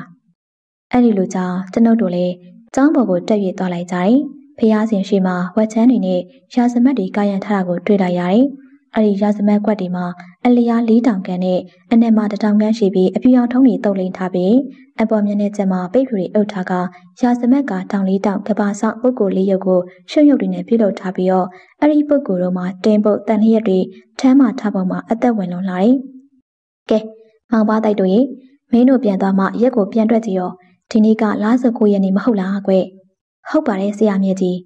လော်ကီလက်ကုတ်တရားဆရာနှစ်ပါးအကျိုးကျေးဇူးအနန္တဖျောင်း ဘယ်လာမှမဆိုဒီလိုလာပြကြောကိုရက်နဲ့လာဆန်းကိုရက်တွေမှာအနီးမှခိုင်းစရာဖြစ်စီနင်းပွဲတွေပေးရတာမို့အခုလိုစီစဉ်လိုက်ရတာပဲမောင်ပါတိုင်ရင်ဟုတ်ကဲ့ဆရာကြီးကျွန်တော်အနေနဲ့ဆရာမြဲကြီးကိုဥပ္ပစေဆရာဖြစ်သတ်မှတ်ပါတယ်ခမညာကျွန်တော်ကိုလည်းအန်တေဝါတိကတပည့်ရင်ဖြစ်သတ်မှတ်စီခြင်းပါတယ်အဲ့ဒါကြောင့်အနန္တ၅ပါးကိုရေးဆိုပြီးတော့ဖျားစင်ရှိမှာအုံငှက်ပြောပွဲ၅ဘဲကိုအစင်းသင်ပြင်ထားပြီးပြီးခွဲဆရာကြီးကကိုခန့်ကိုလုံစည်းတွေထိုးပေးမယ်ပြီးရင်တပည့်ဖြစ်သူက သူရာမေရရကန်နဲ့ကာမေသူမိတ်စာစာရကန်တစ်ပါးကိုသက်ဆုံးတိုင်ထိန်ထိန်ဆောက်ရှောက်ရမယ်။ဂုံတော်ကိုးပါးကိုဝါစင်ရပတိစိတ်ရမယ်။အကျင့်စာရိတာကောင်းမွန်ပြီးတော့ဝါတင်းမှာတသက်လွယ်စားပြီးဥပုသ်တဲ့စောက်တည်နိုင်ရမယ်။ဖရာတရားတန်ဃာတော်တွေနဲ့ဆရာသမားမိဘတွေနဲ့ဆန့်ကျင်ပြီးမပြုတ်လုပ်ပါဘူးဆိုတဲ့ဂိုင်းတော်ဝင်စည်းကမ်းတွေကိုလိုက်နာရမယ်။ဟုတ်ကဲ့ကျွန်တော်လိုက်နာပါမယ်ဆရာကြီး။ပြီးတကက်သုံးဖို့ကိုရန်နာအရှင်သူမြတ်တို့တည်ဆောင်လာတယ်လို့လောကီပညာတွေကလည်းရှေးပကံခေတ်ကလေးကထုံကားခဲ့တာမလို့ ရှင်အစ္စာခေါနာအင်းဝခေတ်ကဘာမဲ့ဆရာတော်ဘဂုဓမ္မစေရီမင်းဓမ္မပါလာပြည်မျိုးစမဝိစာပထမဆရာအောင်နဲ့တောင်တွင်းကြီးဆရာတော်ခင်ကြီးပြောဆိုရဲလောကီတိတ်ထိမြောင်ထွက်ရပုဂ္ဂိုလ်ကြီးတွေကတဆင်အမျိုးကောင်းသားသမီးတွေအဆင့်ဆင့်ကိုပွားများရောက်ရှိလာတာကိုကွဖះရှင်နဲ့ထက်တုန်းကလည်းတရားကြည်ကြံတော်မူနေတဲ့ရဟန်းတွေဥယျာဉ်တော်တွင်ရှိမကောင်းစွာမိစ္ဆာကောင်တွေကနှောက်ယှက်ခဲ့တာမလို့မင်္ဂလာတုတ်ပရိတ်တော်ကိုရွတ်ဆိုခဲ့ရပြီမဟုတ်လားဟုတ်ပါတယ်ဆရာကြီးကဲ ဒါကြောင့်မင်းကိုပါစကန်ကိုနှောက်ယှက်လာသူမိစ္ဆာတတဝါဓမ္မမဟုတ်ဒုက္ကတိအဟိတတဝါဘတ်သူဘဝဆိုတာကြွရောက်လာဖို့ဖိတ်ခေါ်ပါတယ်အစွမ်းဝင်မင်းကလေးမှာတုတ်တုတ်မြပဲမလုပ်ပဲဘိန်းတော်ဆရာမြဲကြီးကိုသာပြုံးကြကြောင်နဲ့ကြည်နေတယ်อืมပုံစံကတော့အောက်ပြီးအောက်ရက်ဘကိုးခရိုင်တွေကရွာတရွာမှာပယောဂဆွဲကူနေတော့အဲ့ဒီရွာကကျောင်းနိုင်ဆရာတူကြွလာတဲ့ပုံစံမျိုးပေါ်နေပြီထင်တယ်။ဘယ်လိုပါလဲဆရာမြတ်ကြီးခမ။ ကျွန်တော်တို့ညီကိုနှစ်ယောက်မှာကြောချမ်းစရာထိတ်လန့်စရာကြက်သေးထစရာအကြောင်းအရာတွေဆိုရင်လွန်စွာဖြင့်ကြားလို့လာပြီ။ဒါကြောင့်ဆရာမြတ်ကြီးကိုတိုက်တိုက်တွန်းတွန်းမိလိုက်ကြခြင်းမိ။အဲ့ဒီရွာတော်ကဆရာကြီးကလူနာတွေကိုစစ်ဆေးနေခြင်းမှာအဲ့ဒီရွာကကျောင်းနိုင်ဆရာတော်ကကြွလာပြီးဒီမဲ့တကတော့ဖုံးကြီးတပည့်မှလေးမဲပွင့်ဆိုသူမှလေးအကြမ်းမြင်ရနေပြီးတော့ဆေးဝါးတွေလိမ့်လည်ကုသနေတယ်ဒီတငယ်မမှာဘလို့အတက်ပညာမျိုးတွေတက်ပြီးအကြမ်းမြင်ရနေပါသလဲဆိုတာကိုမိစ္ဆပယောဂဆရာရဲ့ကုထုံနဲ့စစ်ဆေးကြည့်လို့ရမလား ဒီတော့ဆရာကြီးကလည်းရပါတယ်ဒီအကြောင်းမြင်ရပြီးဟောစားနေတဲ့တငယ်မမဲ့ပွင့်ကိုခေါ်လိုက်ပါလို့ခွင့်ပြုလိုက်ရတာပေါ့ဒီတော့မှမိန်းကလေးကအမှန်တိုင်းဖြေချတယ်ကျမရဲ့အဆောင်ဖြစ်တဲ့ငွေတောင်ရှင်မကဆရာကြီးကိုကြောက်ရွံ့လို့အပေါ့အမှာရက်နေရှိရတာပါဆရာကြီးကအခုလိုတက်ရောက်လာဖို့ခွင့်ပြုတော့မှတက်လာရတာပါရှင်အခုလိုအတွေ့အကြုံသားတကမျိုးကိုထောက်ရှုပြီးကြည့်မယ်ဆိုရင်အကြမ်းမြင်ရပြီးဟောကြရဲဆိုတာမျိုးကရုပ်ကစိုးမော်တို့မိစ္ဆာနတ်မော်တွေ ဝင်ရောက်ပိုးကပ်ပြီးတော့ပြောဆိုဟောနေကြအောင်ထင်ရှားမနေဘူးလားဟုတ်ကဲ့ထင်ရှားပါတယ်ဆရာကြီးဒါပေမဲ့တခုတော့ရှိရဲ့ကွယ်မောင်ပါသားရဲ့တမထဝိပဿနာဘာဝနာတရားပွားများအားထုတ်ပြန်ရင်လည်းဒိဗ္ဗဆက်ကူအမြင်ဒိဗ္ဗတော်တာအကြားတွေရရှိနိုင်တယ်ဒါပေမဲ့အရိယာနယ်ဝင်သူတော်စင်တွေဟာလောကီအရေးတွေမှာပယ်လိုက်ကြတာများတယ်ဒီမိစ္ဆာကောင်တွေမှာဘုံဌာနပိုင်နေဆိုတာရှိသလားခမအပယ်လေးပုံကြီးအနဲ့မရဲပုံဆိုပြီးတီးခြားပုံသာရှိရဲ့ဒီပိတ်တာတော့မိစ္ဆာကောင်တွေမှာ သူ့ပုံနဲ့သူတီးခြားမရှိဘူးကွလောကီလူပုံမှာပဲလူတွေနဲ့တစ်ဆက်တည်းနေထိုင်ကြရတာကွဗုဒ္ဓဘုရားရှင်လက်ထက်တုန်းကဒီပိတ်တာကောင်တွေမိစ္ဆာတွေဟာဟိမွန်နောင်နာကတောအုပ်ကြီးမှာအများပြနေထိုင်ကြတယ်တဲ့အေးဒါပေမဲ့ကမစိတ်တီကြီးမားတဲ့ပိတ်တာတွေတက်စီတွေကတော့နေထိုင်စရာလွတ်ရရွာကဗိမာန်တွေရှိနိုင်ပေမဲ့ကမစိတ်တီတကိုးမရှိတဲ့ပိတ်တာတက်စီတွေကတော့တစ်ပင်တောချုံတွေမှာရှိုရိုးမြောင်ရိုးတွေမှာဟောင်းဆွေးမြင့်နေတဲ့လှိုင်ကူအိုအဆောက်အုံပြက်တွေနဲ့ တုတ်တန်တင်းချိုင်းတွေမှာပဲနေကြတာပေါ့ဒီလိုဆိုရင်ဆရာကြီးဒီပိတ်တာတွေတစေတွေဟာဘလို့အစားအစာတွေစားတောက်နေထိုင်ကြတယ်လဲဆိုတာသိကျင်ပါတယ်ခမ။อืมပြောရမယ်ဆိုရင်လူဘွားတော်ကပြုခဲ့တဲ့အကုသိုလ်ကံအားလျော်စွာနေထိုင်ကြရတယ်လို့အလူဒါနပေးကမ်းဆွကျဲမှုကုသိုလ်ကံအားလျော်စွာမသက်တီးကြယွန်ရှာစရာအစားအစာတွေကိုသာစားတောက်ရရှာတာသူတို့စားရတွေကတော့ လူတွေစွန့်ပစ်ထားတဲ့စားကျွင်းစားကြံတွေစွန့်ပစ်ထားတဲ့ငါအမဲသားတွေအသေးကောင်ပုတ်တွေကိုသာစားတော့ရပြီးဒီပိတ်တာတစေတွေဟာလူလောကနဲ့တစ်ဆက်တည်းနေထိုင်ကြတာကြောင့်လင်နေသားမွေးအိမ်အောင်ရေးတွေကိုလည်းပြုလုပ်ကြတဲ့အကြောင်းဗုဒ္ဓခေကိုရိတစီညွန်ပေါင်းကျက်နေတဲ့မှာအတိတ်လင်ဆိုပြထားတဲ့ကွအဲ့ဒီလိုနဲ့ဘိန်းတော်ဆရာမြင့်ကြီးတရားအစဲဝင်အောင်ခေါ်တော်လေခေါ်မရပဲရှိတာကြောင့်ရွာထဲမှာမိမနှစ်ယောက်ကိုပြန်လွှတ်လိုက်တယ်ပြီးတော့ကြမ်းရှိနေတဲ့ယောက်ျားတွေဖြစ်တဲ့ကိုမြတီးနဲ့ကျွန်ုပ်တို့ညီကိုနှစ်ယောက်အား ပယောဂအခန်းကာကွယ်ဆေးတွေကိုစုံနဲ့ပေါက်ထိုးပေးလိုက်နေတော့တယ်။ဒီကစိတ်တထင်းနဲ့အိတ်ခဲ့တာကြောင့်လားမသိကျွန်ုပ်တယောက်နေ့လေကအစွဲဝင်တာကိုအစွဲသွင်းခြင်းကိစ္စကိုအိမ်မက်မက်နေခြင်းမီအိမ်မဲဆိုတာကတိတ်ဖြစ်ချင်နေခြင်းကိစ္စဖြစ်မှာတိတ်ကြောက်နေခြင်းကိစ္စတွေကိုတိတဝက်မတိတဝက်နဲ့စိတ်မှာအရှိတ်လိုထင်ရခြင်းကိစ္စတွေကိုမှတ်ခြင်းလို့ဖွင့်ဆိုထားတယ်မဟုတ်ပါလို့နေကင်းဘက်ကာလာတွေ့မြင်ပြောကြတဲ့အကြောင်းအရာတစ်ခုဘယ်လိုပင်ဖြစ်စေအိမ်မက်ကစိတ်ဆန္ဒဆွဲလန်းပြင်းပြရမှာ ဖြစ်ပေါ်လာခြင်းကိုတော့ငင်းပွေရမရှိပါစိတ်ထဲမှာဘာရှိနေလဲမိမိဘာဖြစ်နေလဲဆိုတာကိုအဖြေထုတ်ပေးခြင်းပဲဖြစ်တယ်ကျွန်ုပ်မဲ့ခဲ့တဲ့အိမ်မက်ကအောက်ပါတိုင်းဖြစ်တယ်ပထမဆုံးပြက်လဲမြင်တွေ့ရခြင်းမှာဖျားစင်ရှိကတော့ပွဲနဲ့ဖျောင်းတန်တွေကိုမိပူဇော်ထားတာကိုတွေ့ရတယ်ဘိန်းတော်ဆရာမြဲကြီးကအစွဲသိမဲ့မိမတအုပ်ကိုကတော့ပွဲရှိမှထိုင်စေမင်းညကမင်းကိုပါစကန်းကိုပတ်ပြီးမြင်းစီခဲ့သူကိုအာနာပေးပြီးအကက်ခိုင်းနေဒါပေမဲ့တော်တော်နဲ့မကက်ပါ နိုင်ဝက်လောက်ရှိမှအစွဲဝင်သူမိမမှာရှင်းနောက်ရင်းထိုးပြီးကပ်ပါလေရော်ကဲဘယ်သူဘဝဆိုတာသိပြရစီဗျာဘာလို့ရှိလို့လဲအလိုရှိရလဲပြောပေါ်ဗျာညကရွာကိုပက်ပြီးတော့မြင်းစီတာကဘာသဘောလဲအဲ့ဒါအမိတ်ရှိပါမြင်းစီတာကတော့ငါစီးကျင်လို့စီးတာပေါ့ကွာအဲ့နောက်ကျွန်ုပ်ကိုလက်ညှိုးထိုးကဟောဟိုလူစင်ကဘဲရလဲဒီလူမင်းကိုပါစကန်းဝင်လာတာငါ့ကိုဘာဖြစ်လို့မတိုင်တာလဲအဲ့လိုမေးပါတော့တယ်ခမရဘသူဆိုတာအမေရှိပါအောင်လေ ငါဟာဒီမင်းကိုပါရဲတိုက်ရဲ့မျိုးစားထိတ်တင်ဆိုတာငါပဲကွာဒီကဘိန်းတော်ဆရာမြဲကြီးကအော်မျိုးစားမင်းကိုဒီလူကတမြွတ်တရွာကိုသွားနေလို့ပါအခုတော့စစ်အတွင်းမို့ဒီရွာကိုလာနေတာပါဒါကြောင့်မျိုးစားကိုမတိုင်တယ်ဖြစ်သေးတာပါဟေးဆရာရဲ့ဘဲကဖြစ်ဖြစ်ငါ့ကိုတိုင်တယ်ရမယ်ကွာအော်မျိုးစားမင်းရဲ့တခြားကဘေးရန်ရှိလို့လာခုန်နေတဲ့သူကိုအပြစ်မရှာခြင်းဘာနဲ့ဗျာလူရိုးလူကောင်းမှာခမရတို့မကြိုက်တာကိုဘာမှလုပ်တယ်လို့မဟုတ်ပါဘူး အဲ့လိုအကျိုးတင်ကြောင်းတင်ပြန်ရှင်းပြတယ်ဒါပေမဲ့ပူးကက်ဝင်ရောက်လာသူမျိုးစားမင်းကမကြိမ်နဲ့ကြီးဟဲ့ဆရာရဲ့မင်းကငါပြောတဲ့စကားကိုအတိုက်ကန်ပြန်ပြောနေရလားအခုငါဝင်လာတာနှင်းဆရာကအာနာနဲ့ခေါ်လို့လာတာမဟုတ်ဘူးကွာငါပြောစရာရှိလာတယ်မှတ်တေးဒီမျိုးစားကကောင်းကောင်းပြောတာမရဘူးတင်နေဘာလဲခမရကျုပ်ကများဘယ်လိုဆရာမျိုးထင်လို့လဲလော်ကီဝိဇာဆရာကြီးဘိန်းတော်ဆရာမြဲကြီးစွာကျုပ်ပဲခမရဘယ်လိုလုပ်ချင်လဲခမရလုပ်ချင်တိုင်းလုပ်လို့ရမယ်ထင်နေရလား ဘာလဲကွာဆရာစုပ်ကငါ့အောင်များမင်းကအန်တုကျင်လို့လားဟောဒီမင်းကိုပါစကန်တကူလုံးကာလနာကြသွားမယ်မင်းကိုဒီစကန်နေရွာသားတွေကမြောက်စားထားတာအဟုတ်ထင်နေလားကဲခမရတက်နိုင်လှုပ်ဆန့်ပြအကြောင်းသိရမှာပေါ့ခမရနဲ့စကားပြောတာမကောင်းပါဘူးကဲဗျာထွက်စမ်းဒီနေရာကခမရမြန်ထွက်သွားစမ်းဟေးဆရာမြေငါသွားကျင်သွားမယ်လာကျင်လာမယ်မိမိကိုငါကနာခင်ရမှာလားကွတေရှာရှိတဲ့မျိုးစားပါလားကောင်းကောင်းပြောလို့မရဘူးမင်းဒီခန္ဓာအတွင်းကို ဝင်ကျင်တဲ့ဝင်လို့ရမယ်ထင်နေရလားသိကြရောပေါ့အဲ့လိုပြောပြီးကတော့ပွဲမှာကျိန်လုံးနဲ့သုံးချက်ခံရလိုက်ရာကြောကော်သွားပါလေတော့တယ်ကဲနေနိုင်သေးရလားမိစ္ဆာကောင်အကောင်ပြောလို့မရဘူးဆက်ဆက်လေးဒီမှာပြေးပြီမဟုတ်လားအဲ့လိုပြောလိုက်တော့တယ်ကဲမင်းကလေးတော်တော်ပင်ပန်းသွားပြီမလားနားလိုက်အောင်ကွနောက်အတော်လေးကြာတော့အလုပ်ရှိသေးတယ်ဘိန်းတော်ဆရာမြတ်ကြီးကညံညံကြီးနှင်ပစ်လိုက်တာကိုဗျချုပ်ထိုင်နာနာရိုက်ပြီးသူပြောရမှာပေါ့ကျုပ်ရဲ့ညီဖြစ်သူဖအောင်က ဘိန်းတော်ဆရာမြတ်ကြီးကိုပြောလိုက်လေတယ်ဟေးငါတူကလေဒီလိုပဲဖြစ်မလဲကွကောင်းကောင်းမေးလို့မှမပြောတာအတင်းအတမရိုက်မေးလို့မှန်တာပြောပါမလားနာနာဘဝဆိုတာပရိရဲ့အလွန်များတယ်ကွအကြာကြီးချုပ်မင်းနေပြန်တော့လေအစွဲဝင်ခံတဲ့မက်ယူဝေဆွဲမိန်းကလေးအရန်ပြမန်းသမားစိုးရင်ရသေးတယ်ဒီလိုဖြင့်ဆရာမြတ်ကြီးနောက်တစ်ခါသူ့ကိုခေါ်ပေးဦးမလားသူ့ခေါ်မေးလို့ဖြစ်ပါဘူးကွယ်သူလည်းသွားစရာရှိသေးတယ်လို့ပြောတယ်လေတနေ့ကအဆောင်ပြေအုပ်ပုံနာမှာ ခွန်ကြီးခွန်ငယ်ပြောဆိုနေတဲ့ကြားရလေတော့နောက်ထပ်တစ်ယောက်ရှိရအောင်မေအဲ့ဒီတစ်ယောက်ဟာလည်းမျိုးစားကြော်ပဲလို့ထင်မိရဲ့တနေ့ညကဆရာကြီးကြားတာတော့ရန်ဖြစ်ကြနေတူတယ်ဒီတော့တွင်အစွဲဝင်ခိုင်းတဲ့မိန်းကလေးအမောပြေတောင်မှတခါခေါ်မေးကြည့်အောင်မေအဲ့လိုဘိန်းတော်ဆရာမြဲကြီးကကျွန်ုပ်တို့ညီကိုညကိုရှင်းပြနေပါတော့တယ်အဲ့လိုနဲ့စကားပြောနေကြစဉ်ဘယ်ချိန်ကရောက်နေမှမသိရွာကောင်းဆောင်ကိုမြတီးက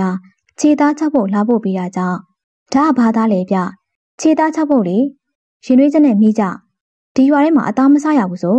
မဟုတ်ပါဘူးကွာစားရပါတယ်ဒီရွာတွေကလူတွေဟာအနီးနားမှာရှိတဲ့တိရစ္ဆာန်လေးတွေအတွက်စီကံမရှိတက်စားမှစိုးလို့ပါဒီခြေသားချောက်ကတခြားကရလာလို့စားတာတော့စားလို့ရပါတယ်အဲ့လိုရှင်းပြလေတယ်ကဲမဆန်းဝင်းရောလှအောင်ဟိစောစောကအလုတ်လေးစင်းမြေចောင်းဆုံးတည်သွားရအောင်ဆရာတို့ဆက်ကြအောင်စို့ဒီတကအစွဲခေါ်မဲ့မျိုးစားကြော်ကတော့ဟိုမျိုးစားထိတ်တင်ဦးလောက်ကျန်းတဲ့လိမ့်မယ်မထင်ပါဘူးကွယ်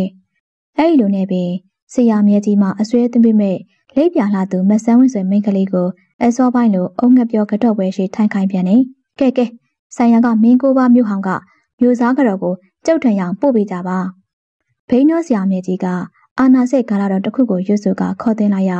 မကြမီနတ်ဝင်ပူးကရောက်ရှိလာပါတော့တယ်အခုလာတာဘာတူလဲမျိုးစားကြော်ပဲလား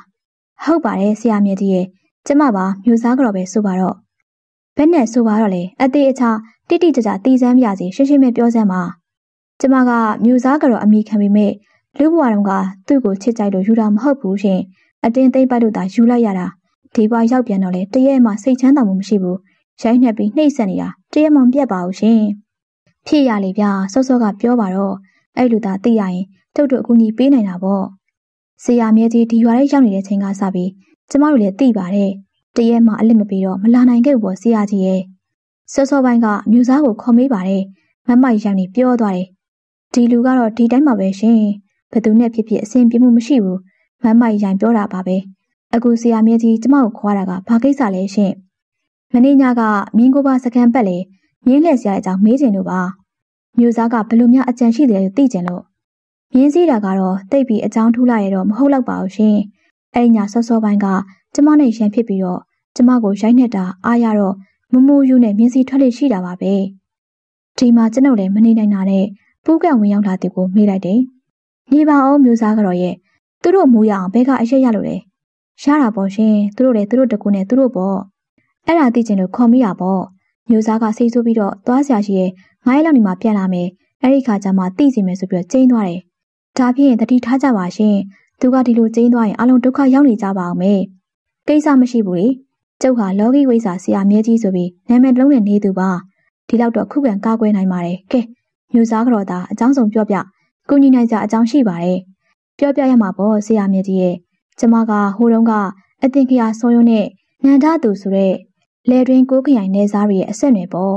နာမည်ကတော့စောနန်းဒေဝီလို့ခေါ်တယ်သူကကျမဦးကြီးတော်ကြီးမြောက်စားထားသူဆိုတော့ကျမကိုအတင်းအဓမ္မခေါ်လာခဲ့တာ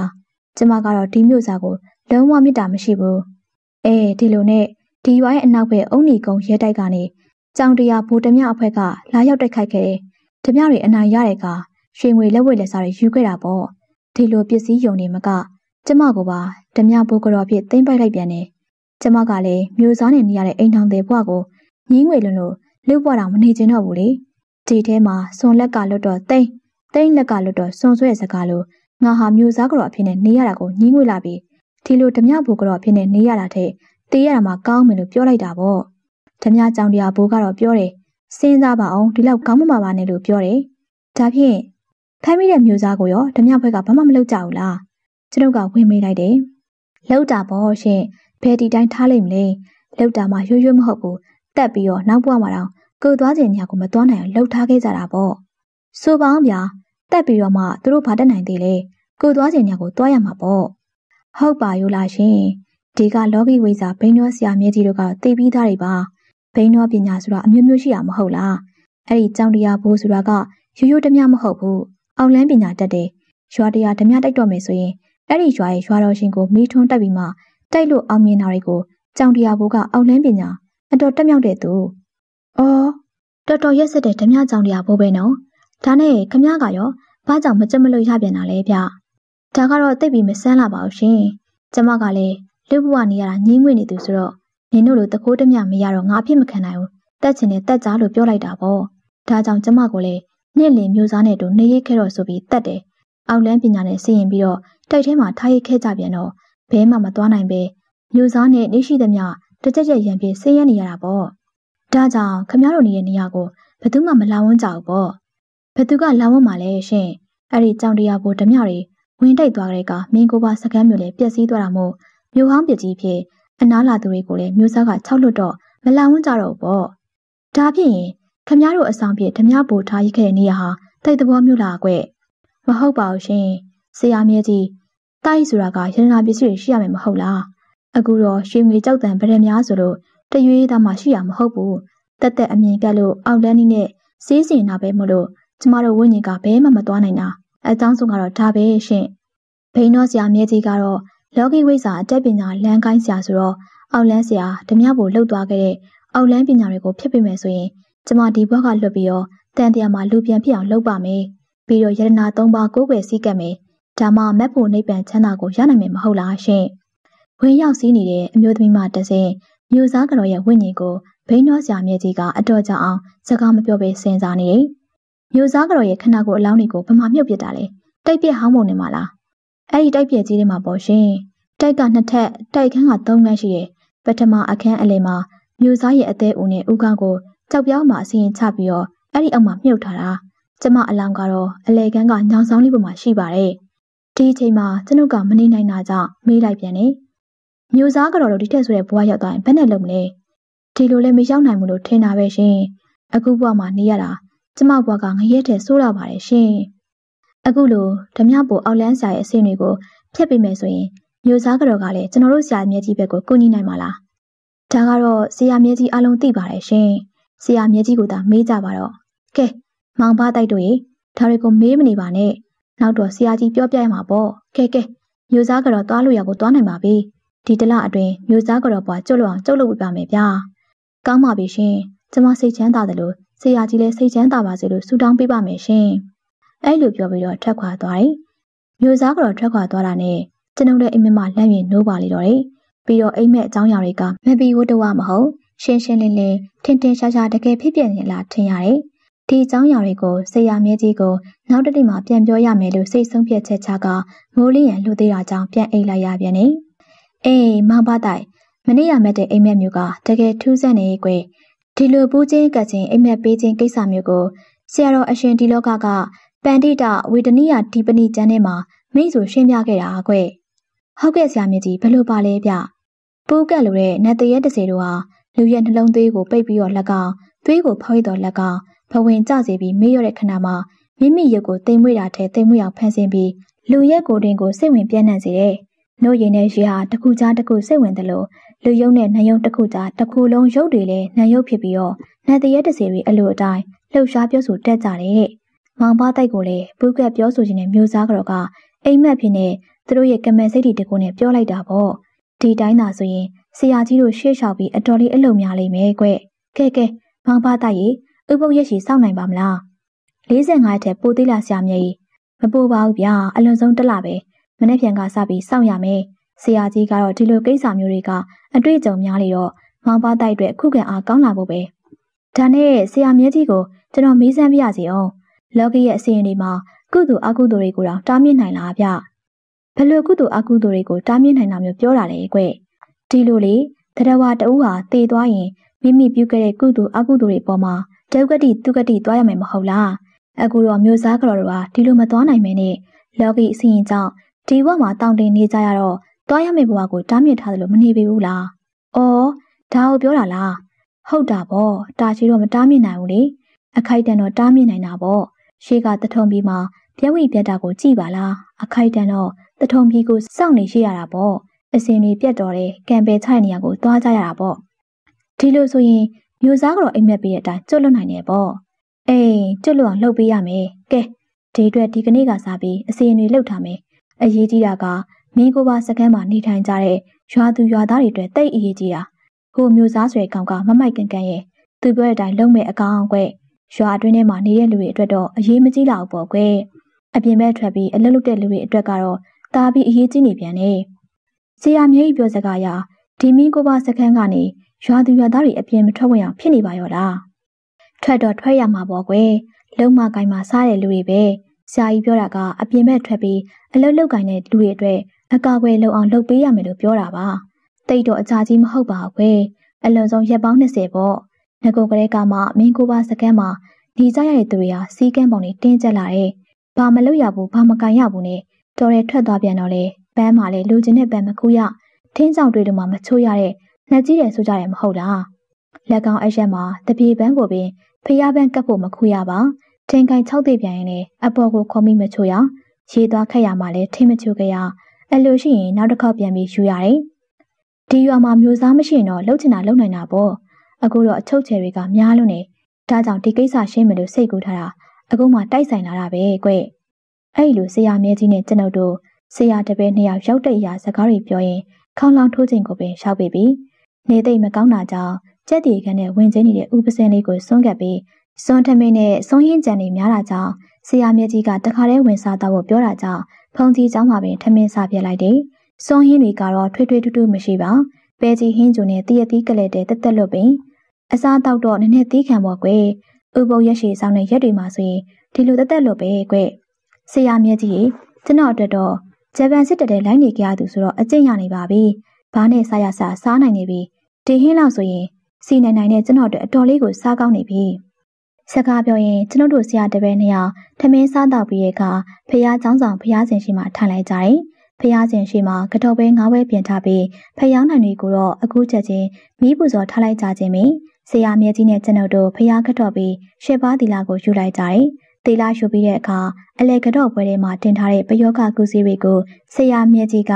မန်တန်တော်ကြီးနဲ့တိတ်ထီတင်နေတယ်။အဟိမန်တန်တော်ကြီးနဲ့တိတ်ထီတင်နေတဲ့အထက်မှာဂတိပါအဝေးလေးတစ်ခုပါတယ်။ကျွန်ုပ်တတိထားကြည့်မိလိုက်တယ်။လက်ကောင်းအပြင်မင်းတို့ကြီးလို့ခေါ်တဲ့ချင်းငင်သုံးခုလည်းပါသေးတယ်။မင်းတို့ကြီးဆိုတာကတော့ရွာတွေမှာရှင်ပြတဲ့အခါပရိအိုးတွေမှာဒုတ်တန်လေးနဲ့ထိုးထားတဲ့ချင်းငင်တွေကိုခေါ်တယ်။ မြို့ပေါ်တွေမှာလက်ကောင်းချင်းငင်အစားအချီတွေကိုအသုံးပြုတဲ့ကြတယ်။အားလုံးသောပယောဂကူဆေးတွေကိုတိတ်ထိတင်ပြီးတဲ့အခါဆရာမြတ်ကြီးအား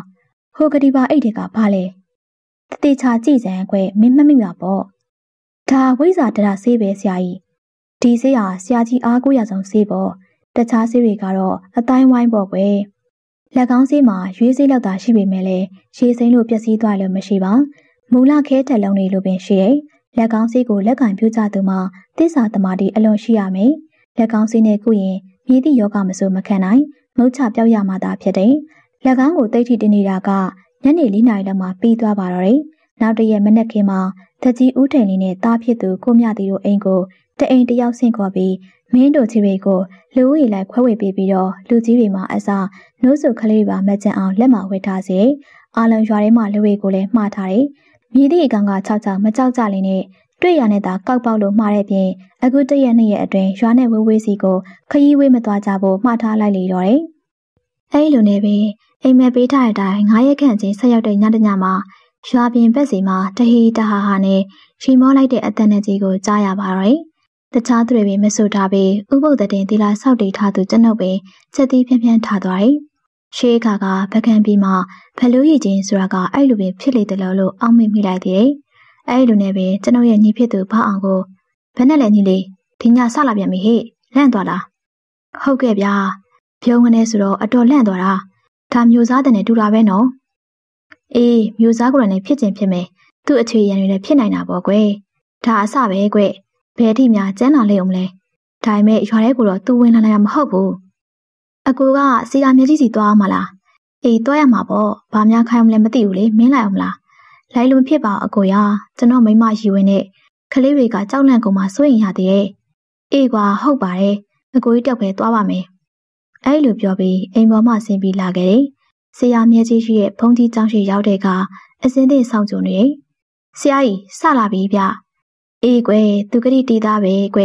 ပြောတဲ့အတိုင်းမမိုက်ကကန်လုံးမဲ့ကောင်ပဲ ဒါပေမဲ့မင်းကိုပါစကန်အတွင်းထဲကိုတော့ဘယ်လိုနည်းနဲ့မှမဝင်နိုင်ဘူးအပြင်ကတော့တောင်းကျမ်းအောင်ပါပဲဆရာတပည့်နှစ်ယောက်စကားပြောနေကြရာထုံးစံအတိုင်းကိုမြသေးနဲ့ရွာထဲမှာလူလက်တွေလူငယ်တွေစုယုံပြီးရောက်ရှိလာကြတယ်။ရီတန်ကြီးမှာရွာပြင်ဘက်မှာရှိလိုက်တဲ့အတန်ဖြစ်ပေမဲ့လည်းရွာပြင်ဘက်မှာကတော့ဖြစ်လို့တတော်လုံးပဲ့တင်ထက်ကစုညံနေတော့တယ်။အဲဒီလိုရွာကိုပတ်ပြီးတနားရီလောက်ထိအောင်ရှိပြီးတနားရီကျော်လွန်လာတဲ့အခါဟိုနေ့ကလိုမြင်းစည်းပြန်နေ။ဘယ်နဲ့လဲဗျာရှေးမှာရာဇဝင်ထဲမှာ ဝေလူသူမနာမြင်းစည်းပုံကတော့စာထဲမှာမလို့စိတ်ကမှန်းကြည့်လို့ရတယ်။အခုမျိုးစားမင်းမြင်းစည်းပုံကဝေလူသူမနာထက်များကဲနေရောသလားပြောတတ်ဝေ။စီးပါစေကွာမြင်းမောတော့ရက်သွားမှာပေါ့။ကျွန်တော်ကတော့ဒီလိုရက်တော့မယ်မထင်ဘူး။တနည်းလာလေးအမလို့ထင်တာပဲဆရာမြဲကြီး။အေးပါကွယ်လာပါစေ။လာပြန်တော့လေလာသလိုလုပ်ရတာပေါ့။အဲ့ဒီလိုမြင်းကွာတန်လေးမှာနှစ်နာရီခန့်စုညံနေရမှာရက်သွားပါတော့တယ်။မကြမီမင်းကိုပါစကန်ရွာပေါက်မှာစောင့်နေတဲ့ မြင်းကြိုင်နဲ့အုံကြိုင်တို့ကင်းသမားတွေဆရာမြကြီးရှိရာစီကိုမော်ကြီးပန်းကြီးပြေးလာကြတယ်။ဘာလဲဟိမောင်တို့ဘလို့အကြောင်းထူးများရှိလဲကွ။အကြောင်းထူးဆိုဆရာမြကြီးရေရှိနေတော့ကလည်းကျွန်တော်တို့မကြောက်ဘူး။မြင်းစည်းနေတော့ကလည်းမကြောက်ဘူး။အခုတော့ဗျာကြောက်စရာကြီးကြောက်ခဲတွေနဲ့ပေါက်တယ်ဗျာ။ကြောက်ခဲတွေကပုံနကတိုက်တယ်လို့ဘေကလာမှန်းမသိရောမှန်မှန်အောင်အတော်ရှောင်ရတယ်။အဲ့ဒီကြောက်ခဲမှန်မှာကြောက်လို့ကျွန်တော်တို့ပြေးခဲ့ရတာ။ဘိန်းတော်ဆရာမြကြီးမှာအတန်ကြောင်စဉ်းစားနေပြီးတပည့်ဖြစ်သူဘက်ကိုမင်းငေါ်ပြီးတော့ မောင်ဘတိုက်ဘလို့သဘောရလဲဟိကျွန်ုပ်သဘောကတော့ဒီထက်ကျန်းလာမယ်ထင်တာပဲအိမ်တွေပေါက်ရင်လူတွေနှိုးပြီးတော့တစ်တစ်လန့်ဖြစ်ကုန်မှစိုးရတယ်အရေးကြီးတာကကျွန်ုပ်တို့နှစ်ယောက်တည်းရွာပြင်ပက်ရအောင်လုပ်တယ်ထင်တာပဲအဲဒီတော့တွေ့ရမယ်အတူတူရေရဲဝန်းနဲ့ရင်ဆန်လိုက်ရင်ကောင်းမယ်တင်နေဆရာမြေလက်ချင်းတူတူနဲ့ပြီးရကောင်းမယ်တင်နေအဲ့ဒါအကောင်းဆုံးပဲကွနေမြင့်လေအယူရင်လေဖြစ်တော့မယ်မြန်မြန်နှိမ့်လိုက်တာကောင်းပါတယ်ကဲလာကြဟိမကြောက်ကြနဲ့မင်းတို့ကိုသူ့ဘာမှမလုပ်နိုင်ပါဘူး အဲ့လိုပြောပြီးမင်းကိုပါစကန်ရွာမြောက်ပေါက်စီကိုလာခဲ့ကြတယ်။ရွာတကားပေါက်နာရောက်တဲ့အခါမြောက်ဖက်တောင်တော်ချောင်းအတွင်းစီမှာလက်သီးဆုပ်လောက်ကြောက်ခဲလုံးတွေရွာတကားကိုတတုံတုံပေါက်ရနေပါတော့တယ်။ဆရာတပည့်နှစ်ယောက်တို့ခဏရက်လိုက်ကြပြီးတော့ဆရာမြဲကြီးရဲ့လွေအတွင်မှာပထမစီးတော်ကြီးကိုထုတ်ယူပြီးအဟိမန်တန်တော်ကိုအောက်ပါတိုင်းပါဠိလိုမဟုတ်မြန်မာဘာသာပြတဲ့အနိဋ္ဌိပိမှာဤပထမစီးတော်ကြီးဟာကုသွားရင်သွားခြင်းရက်ရင်ရက်ခြင်းထိုင်ရင်ထိုင်ခြင်း ငါရဲ့နောက်ကိုမလိုက်ပါနဲ့ဆိုပြီးပြောချင်းတော်လက်ကောင်အနားကပင်သူမခွာရောက်၍ပင်နှင်းထုတ်ညာပေမဲ့အနားကပင်သူမ၍နေညမလက်ကက်ပြီးတော့တေချာဆွမြက်ပါပြီးတကဲ့သို့လက်ကောင်ပထမဆေးတော်ကြီးကိုရွာတကားအပြင်ဘက်ကိုပြစ်ကျဲလာရာတဒုံဒုံပေါက်နေတဲ့ဂဲရီမှာရပ်ပြေးသွားပါတော့တယ်။ကဲငါတို့တို့မကြောက်ကြပါနဲ့ကွယ်။ဦးလေးတို့ဆရာတပည့်နှစ်ယောက်ရွာပြင်ထွက်မယ်။မင်းတို့စီကိုသူတို့မလာနိုင်ပါဘူး။အဲဒီလိုပြောပြီးတကားအဖွင့်ခိုင်းမှကျွန်ုပ်တို့ရွာပြင်ဘက်ကိုထွက်ခဲ့ကြပါတော့တယ်။ ကျွန်ုပ်တို့ဆရာတပည့်နှစ်ယောက်ရွာပြင်ကိုရောက်တဲ့အခါရွာတကားကိုပြန်ပိတ်စေပြီးပထမဆေးတောင်ကြီးနဲ့ပင်အကာအကွယ်တွေပြုလုပ်ခဲ့တယ်။ဆရာမြေကြီးကျွန်တော်တို့ဘယ်ဟိုသွားမလဲ။မြင်မြင်ထင်ထင်ရှိအောင်တောင်တော်ချောင်းနဲ့သွားကြစို့ကွယ်။ဒါမှလည်းတစ်ပင်ရိပ်တွေလွတ်မယ်။အဲ့လိုပြောကတောင်တော်ချောင်းလေးကိုဆင်းဖို့လှခဲ့ကြပါရယ်။ဆရာမြေကြီးကျွန်တော်တို့ဘယ်ချိန်လောက်မှပြီးမှလဲ။ဒီမှာကျွန်တော်တို့ကိစ္စတွေများတဲ့အခါရွာထဲကိုဝင်ဝင်နေဘယ်နဲ့လုံးမလဲ။အေးဟုတ်သားပဲ။ ငါတို့အယောင်ဆောင်ပြီးတကားအဖွင့်ခိုင်းလို့ဖွင့်ပေးဒုက္ခများကုန်ပဲ။ကဲလောင်းဟိကင်းသမားတွေကိုအသေးချာမှောင်းမှဖြစ်မယ်။အဲ့လိုပြောပြီးပြန်လာကတကားပြင်မာနေပြီးကင်းသမား၄ယောက်အနက်မှာမြင့်ကြိုင်ဆွဲလူငယ်လေးတယောက်ကိုလှမ်း၍ခေါ်လိုက်တယ်။မောင်မြင့်ကြိုင်တို့ဒီညမှာပြန်လာမှာမဟုတ်ဘူး။ဘသူကမှတကားဖွင့်ကိုင်ဖွင့်ကိုင်မဖွင့်နဲ့။တကားဖွင့်လိုက်ရင်တရွာလုံးဒုက္ခရောက်နိုင်တယ်နော်။ကုံကုံပြောမယ်ကွာ။ငါတို့ကိုယ်တိုင်အဖွင့်ခိုင်းတာမဖွင့်ကြနဲ့။ဒီအကြောင်းကိုကျန်တဲ့တကားဘောက်ကကင်းသမားတွေကို နားလည်အောင်သေချာပြောဟိ။ကဲငါတို့စိတ်ချသွားမယ်။မောင်မြင့်ကြိုင်ကလိုက်ပြောလိုက်။အဲ့ဒီလိုနဲ့ပင်ဆရာမြဲကြီးတို့မင်းကိုပါစကန်းရွာတကားပေါင်းမှာခွာခဲ့ကြကခဲတပြစ်တတလာဝေးတဲ့တောင်တော်ချောင်းတွင်ကိုဆင်းခဲ့ကြပါရယ်။လက်ကောင်ချောင်းမှာအတောင်30လောက်ကျဲမိုးပြတ်နေတဲ့အတွက်မြောက်ဖက်ကမ်းနားမှာရေစည်းအကျယ်10တောင်လောက်အနဲ့ဒူးလောက်သာရှိရဲ့။ဆဆရာမြဲကြီးတို့ဆရာတပည့်နှစ်ယောက်တောင်တော်ချောင်းလေးကိုရောက်ရင်ရောက်ချင်းမိမိတို့ပတ်လည်မှာစီးကြလိုက်တယ်။ မကြခင်ချောင်းရဲ့အောက်ပိုင်းစီမှာဖုံလုံးကြီးတွေဆရာမြဲကြီးတို့နှုတ်ထံကိုလှည့်မိလာပါရဲ့။ဟောပြို့ဆရာကြီးရေဖုံလုံးကြီးထဲမှာဘာတွေများပါလဲမသိဘူး။ဒါတော့လာနေပြီပြို့။လာပါစေကွယ်ဘသူလာမလဲမျိုးစားလာမှာပေါ့။ပြောရင်းဆိုရင်ပင်ဆရာမြဲကြီးတို့စီးကြထားတဲ့နေ့ကိုရောက်တဲ့ကဖုံလုံးကြီးတွေရက်ပြီးသွားပါရဲ့။တဖြည်းဖြည်းဖုံတွေပျောက်သွားတဲ့အခါမြင်းနဲ့စီးထားတဲ့အသက်40လောက်ရှိတဲ့လူကြီးတယောက်ရောင်တစောင်းထုံးကမြင်းပေါ်မှာထိုင်နေတွေ့ရတဲ့ပြင် လက်မှာလည်းငှက်ကြီးတောင်တလွတ်ကြီးကိုကင်ပြီးတွေ့ရပါတော့။ရုတ်တရက်မြင်လိုက်ရတဲ့အခါလူကျော်လူကန်ကြီးတယောက်လိုထင်မှတ်ရတယ်။အသေးချာကြည့်လိုက်တဲ့အခါမှာတော့မျက်နှာမှာအရက်ပူပြတ်နေတဲ့လူတယောက်လိုအသားအရည်မှာဖော့တွတ်တွတ်နှီးကျင်ကျင်နဲ့အဖူးပိတ်နေထွက်နေတယ်လို့ရှိနေတာကိုတွေ့ရပါလေတော့။ဟဲဟဲဒီနေ့တော့ဆရာတပည့်နှစ်ယောက်ကိုတော့အမဲဖြစ်တယ်လို့ဖြတ်ပြီးငါတပည့်တွေကိုဝအောင်ကျွေးရမယ်ဟိ။အဲ့လိုပြောလိုက်ရာမင်းမဲတတဝါတခုမှဆရာမြဲကြီးတို့ဆရာတပည့်နှစ်ယောက်အား ခက်လလန်းမှပက်လည်ဝိုင်းပြီးအနေထားမှရှိနေတယ်။ကျွန်ုပ်အဖိုးမှာအခုလိုနဖူးတွေတူတွေတကားမှမတွေ့ကြုံခဲ့ဘူးတာကြောင့်အမှန်ဝင်ခံရရင်ကြောက်တယ်လို့ယွန့်တယ်လို့နဲ့ရှင်လေးမှအေးသွားပြီးတော့ဟဲ့မျိုးစားဆိုတဲ့ကောင်မင်းကနိုင်ရင်လဲမင်းကြိုက်တယ်လို့ပေါ့ကွယ်မင်းရှုံးလို့တို့ကနိုင်ရင်လဲမင်းရဲ့ဝိညာဉ်ဟာစက်ကြော်ရာရဲ့အပြင်ဘက်ကိုရောက်ဖို့သာပြင်ပြီးတော့ပေါ့ကွာအေးဟုတ်ပြီငါကဒီလိုအခွင့်အရေးမျိုးကိုစောင့်နေတာကြာပြီကွာမြဲကြီးရမင်းလိုအထက်လန်းစရာကိုရွာပြင်ကိုညာထုတ် လေကုတ်ချိုးတက်ပြီးမင်းကိုပါစကန်းရောက်ကိုတိမ့်ပိုက်ရမယ်ကွာတိမ့်ပိုက်ပြင်မယ်ဟာဟာဟာဟာဟာတိုက်ဟီမောတန်ဒီမှာတအုပ်ဆက်တနေရာစီမှကျဲလောက်စွာမြေဟီလာပြန်နေပြီးတော့မြင်းခွာတန်တွေအစမပြတ်ထပ်ပေါ်လာတယ်။အဲ့ဒီအတန်တွေမှာတောဆက်တနေရာတရက်ပင်ခွာကြပါမှာဖြစ်နေတာကိုတော့ဆရာမင်းကြီးနဲ့တပည့်ကျော်ဖြစ်သူကျွန်ုပ်တို့ရဝါးထင်တွေ့မြင်လာရတယ်။အိုးဒါဒါအစိမ့်တရက်တစေပြီးအော်ဟင်းနေတဲ့အတန်စစ်စစ်တွေမှမဟုတ်ပဲ။တိတ်ရကော်ဒါဆက်နဲ့ဖမ်းထားတဲ့အတန်တွေကို တရက်ပင်ခွာကြတဲ့ကအတန်ချက်စစ်နဲ့ရွာဘက်စီကိုလွှင့်ထုတ်ပေးနေတာကိုတခွက်ခွက်နဲ့မြင်းခွာတန်ဒီအစမပြတ်ပင်အတန်ချက်ဆက်ရှိရာတရက်ပင်ပေါ်မှာပြန်ပေါ်လာတော့ဟားတိုက်ရီမောတန်တွေကလည်းအစမပြတ်ထပ်ပေါ်လာနေတာကြောင့်မြင်းကိုပါစကန်တွင်ရှိရွာသားတွေကတော့မကောင်းဆိုးဝမိစ္ဆာကြီးတွေအနာရလို့ဟားတိုက်ရီမောကျင်သာဖြစ်နေမယ်လို့မလွဲမသွေထင်နေကြတော့မင်းကျွန်တော်အဖို့မှလည်းဒီအချိန်ခါမှာကျုပ်အားတဲ့အံ့ဩစီတွေတဖာဖာဖြစ်ပေါ်နေချိန်မှာဆရာမြဲကြီးဆိုတဲ့ဆရာကြီးကတော့ သူ့ပညာရက်တွေကိုနှက်ပစ်လိုက်တယ်လို့အလင်ခံလိုက်ရတာကြောင့်တောက်တက်ချက်ပြင်းပြင်းသာခောက်လိုက်ပြီးယူကျုံမရစွာနဲ့ခေါင်းငိုက်ဆိုင်ကျသွားရှာလေတော့တယ်။မအူပင်ကြီးရဲ့ခိုင်းလေခိုင်းပြားတို့မှရွာရွက်ဝါတွေဟာလေယူကလေးတွေအတိုင်းမှာညာကျွေကင်းကမြေကိုဆင်သက်တယ်။တက်ကံမို့တက်ကဲအကာနဲ့ဖြစ်ကြတဲ့ဆန်ဆောက်လုပ်ထားတဲ့တဲလေးတစ်ခုအတွင်းမှာဟေးအောင်တောင်မင်းတို့မင်းကိုပါစခန်းမှာအရက်မတောက်ရသမျှဒီအင်းပြားရွာတဲ့ရောက်မှာအရက်ကိုအတိုးချတောက်နေရလို့ ငါတို့ကိုခွက်လက်ကိုမပေးတော့ဘူးလားကွာအမှန်ပင်အောင်တောင်းဆွဲလူမှာပလင်ထားမှတောကျက်အရက်တွေကိုအငန်းမရထက်ကထက်ကငှဲ့တောက်နေတာကြောင့်အောက်လူဝင်းမောင်ကလှမ်းပြောလိုက်ခြင်းမီငါ့ကိုခွင့်လို့ပါရွှေဝင်းရငါမှမင်းကိုပါစခန်းနဲ့ရောက်သွားတဲ့ကအရက်မတောက်ရလို့ငှက်ပြက်နေတာအမှန်ကွာအေးလီနေသိမလားညသိမလားပြောတဲ့စစ်တွင်းကာလာကြီးမှာငါတို့ကတော့တေသွားလိုက်ပျော့ပျော့ကြီးတေသွားနိုင်အောင်အချိန်ရှိသူတွေတောက်ရမယ်ဟေ့ အရက်ကလည်းငတ်နေလို့လားမသိဘူးအရန်ကောင်းမေးကွာအောင်တောင်းတရာအကျမ်းပကံခွဲတဲ့ချက်ရက်တွေကိုရှင်းမရောပဲနဲ့တခွက်ပြီးတခွက်စင်ကစင်ကတောက်နေတယ်ဟေးအောင်တောင်းမင်းဒီအင်းပြရောကအရက်မလို့အခုလိုရှင်းမရောပဲတောက်နိုင်တာကွာကိုင်းရွာကကိုစိန်ချက်တဲ့အရက်ကိုတော့တောက်နိုင်မှာမဟုတ်ဘူးဘာဖြစ်လို့လဲရွှေဝင်ရဟောဒီအကျန်းတပကံလောက်ဆိုရင်တချီတဲ့ဒေါင်းရတာပဲကိုလူရအမေကွာဂိုင်းရွာကိုစိန်ရက်ကဘာဟုတ်သေးလို့လဲ မြေရိုးရွာကကိုကြီးဝင်းချစ်တဲ့အရက်ဆိုရင်ဟောဒီကျမ်းမီပေါ်မှာဒဇက်နှစ်ဆက်လောက်လောင်းချပြီးမိချင်းနဲ့ရှို့လိုက်တယ်ဆိုရင်အရက်ဆက်တွေကမီးတောက်ဆွဲရတာပဲကွာထိုစဉ်ကာကီရှက်လက်ရှိကိုအထက်ကိုခောက်ပင်ထားကခါမှာ၆လမှုတက်လက်ကိုတနက်အိတ်နဲ့ပတ်ထားတဲ့လူတယောက်တဲတွင်းကိုရုတ်တရက်ဝင်ရောက်လာတယ်။အဲ့ဒီသူရဲ့လက်မောင်းရင်းမှာကပိတ်ဖြူပေါ်မှာဂျပန်စလုံးအနေကြီးတွေရေးထားခြင်းဖြင့်ဂျပန်စစ်တပ်နဲ့ပတ်သက်တဲ့တာဝန်ခံတို့ဖြစ်မယ်လို့ခံမှန်းနိုင်တယ်။ဂျပန်စာလက်ပတ်နဲ့အဲ့ဒီလူကခါထောက်က ဒီမှာခဏနားထောင်ကြားစမ်းမြို့မင်းကိုပါစကန်ကလူရောက်နေလို့တည်င်းကြလို့အဲ့ဒါဘာလို့လဲတောက်လက်စာအရဲခွက်ကိုအတင်းမြူချလိုက်တဲ့အောင်တောင်ကကျုပ်ကျုပ်ကျုပ်ပါဗျာ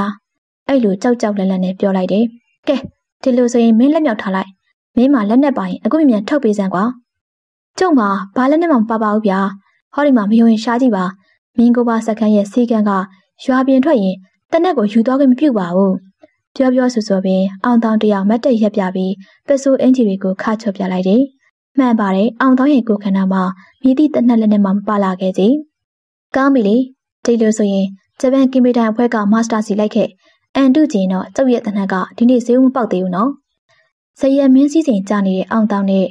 ကြောင်မန်းကုန်းရွာသားရွှေဝင်းတို့ပါဆက်အဟောင်းသားနဲ့ကြောက်ရွံ့သွားကြလေ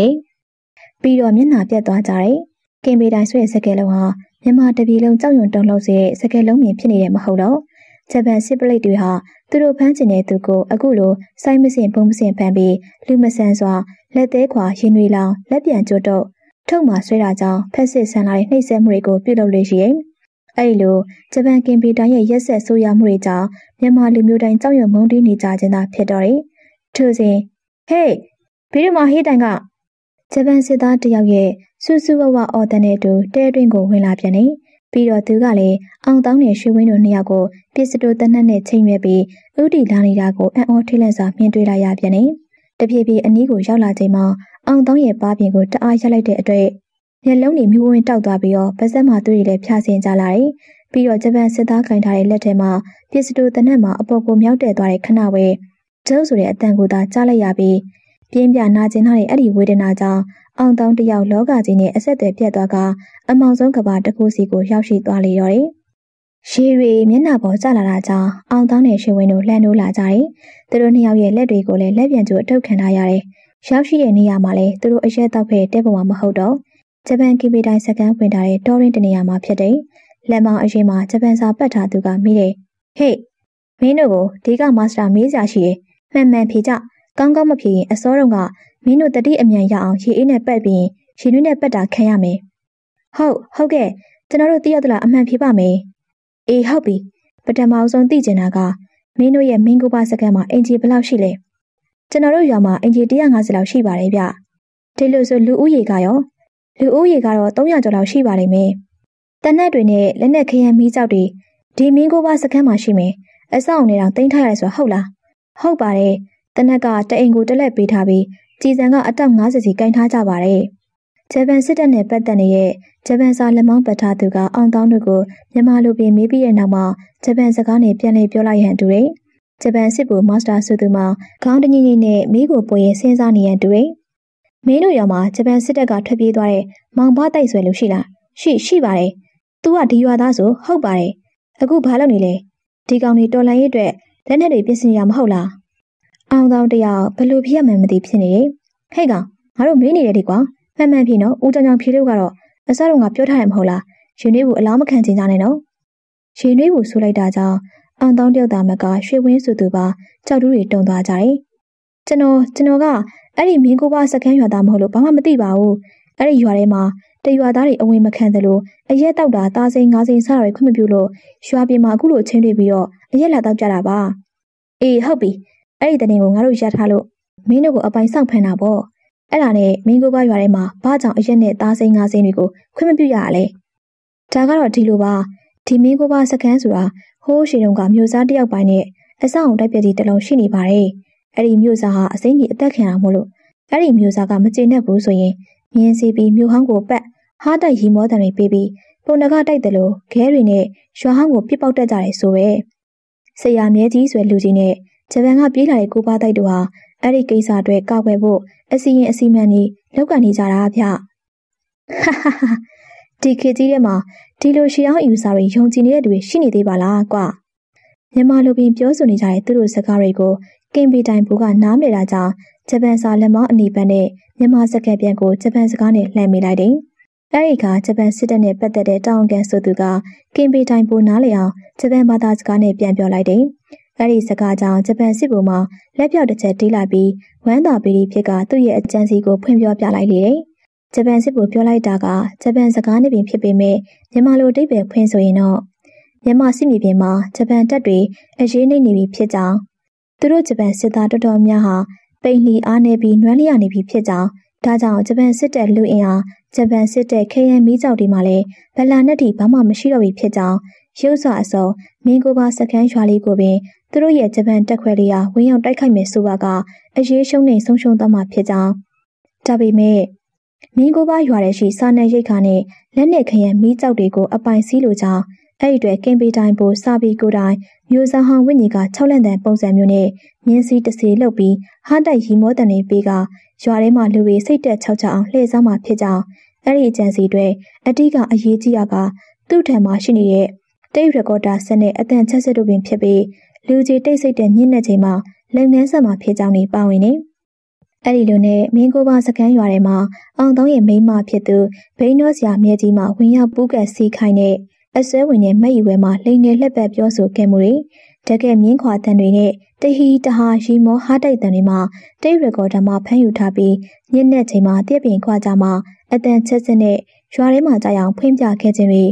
ကင်းသမားတွေရှိရာအပေါက်တွေစီကိုစိတ်ချောက်ချစေဖို့ပုံနှကတိုက်တယ်လို့အုံနီကဲကျိုးတွေနဲ့ရွာအတွင်းတွေကိုပြစ်ပေါက်လွှတ်ကြခြင်းတွေ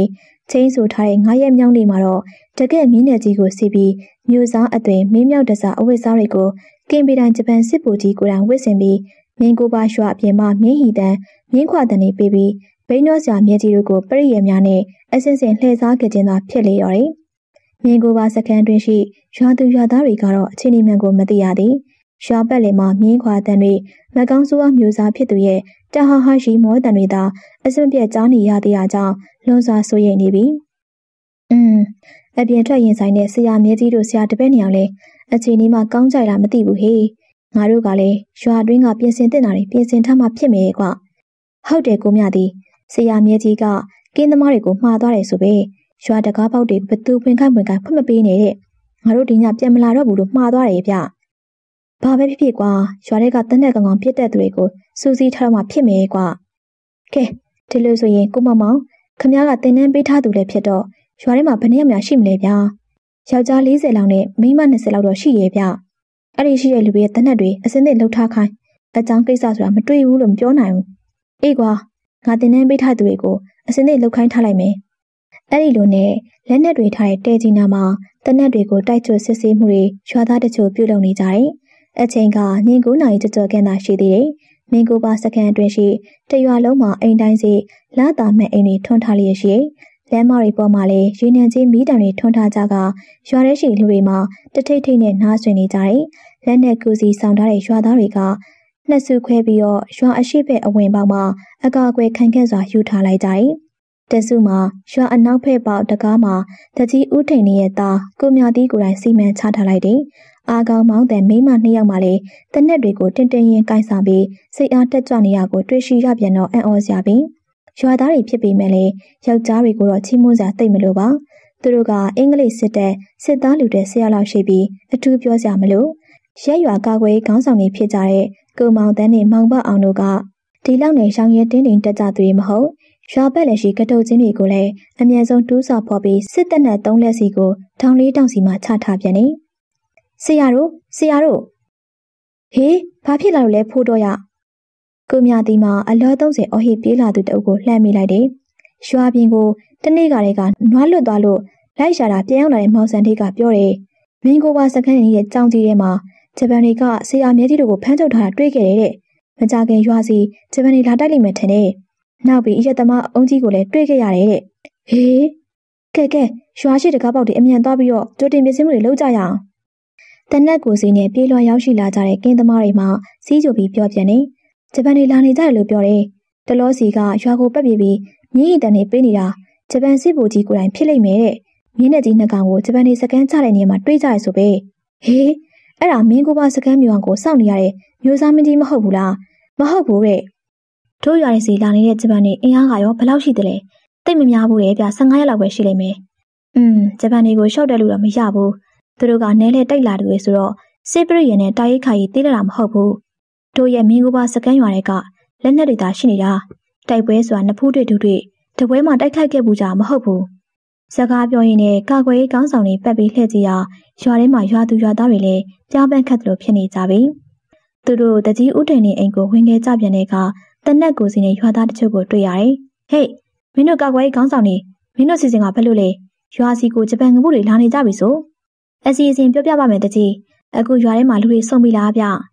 နွားပြောက်အရှာထွက်တဲ့မောင်စံလေးကတော့ပြန်မရောက်သေးဘူးပြောတယ်။အိုးဒီကောင်ကအရက်သမားရဲ့ဒီရွာထဲမှာအရက်မတော့ရအမိတ်ထုတ်ထားလေတော့တခြားရွာတွေချက်သွားပြီးတော့တောက်စားနေမယ်ကောင်ထက်မတွက်နဲ့တော့ကဲဒီလိုဆိုရင်ရွာတကားတွေကိုအသေးပြန်ပိတ်ထားလိုက်ကြဖို့ပြန်ပြီးမှားကြလိုက်မယ်လက်နဲ့ကင်ထားကြတဲ့သူတွေနေရာချတဲ့အတိုင်း ကိုယ့်နေရာနဲ့ကိုယ်နေရာပြီးတော့အစ်စ်နေကြကျန်တဲ့လူတွေကတော့ကိုယ့်အိမ်မှာညင်ညင်နေတနက်တန်တွေနီးလာတယ်ဆိုရင်တော့ကာကွယ်ရေးတွင်းနဲ့ဆင်းပုံးကြပေါ့အဲ့လိုကာကွယ်ရေးခေါင်းဆောင်ကိုမောင်တန်းကပြောလိုက်တယ်တနက်ကင်ထားသူတွေကလည်းကြီးစံကိုအရင်မပြေကြဖို့ထိမိလောက်တဲ့နေရာရောက်ကြမှသာပြေကြဖို့ဆက်လက်မှားကြားနေစဉ်ရွာအရှိစီမှာတနက်တန်တွေကိုကြားလိုက်ရတယ်။ဒါကြောင့်ရွာအရှိတကပေါက်စီကိုကာကွယ်ရေးခေါင်းဆောင်တဲ့တနက်ကင်ရွာသားတွေအပြေလာသွားရောက်ကြလေတော့တယ်။အဲ့ဒီချိန်ခြောက်ချားစာရည်တန်းကြီးကြောင့် တနက်တွေကိုကင်ဆောင်ထားတဲ့ရွာသားတွေတွေးကြောင်သွားတယ်။ရုတ်တရက်တော့မှင်သက်မိသွားကြတယ်။မကောင်းစွာလို့ခေါ်မလားရွာဆောင်တည်းရဲ့ကြီးလို့ခေါ်မလားတိတိကျကျမပြောနိုင်တဲ့နာနာဘဝလောကမှာမျိုးစားရဲ့ဝိညာဉ်ပေလောလို့တန်တရားဖြစ်တည်မှုကရွာသူရွာသားတွေကိုအယိုးဆွေအောင်ကြောက်လန့်စေကြရမဟုတ်ပါလား။ဟော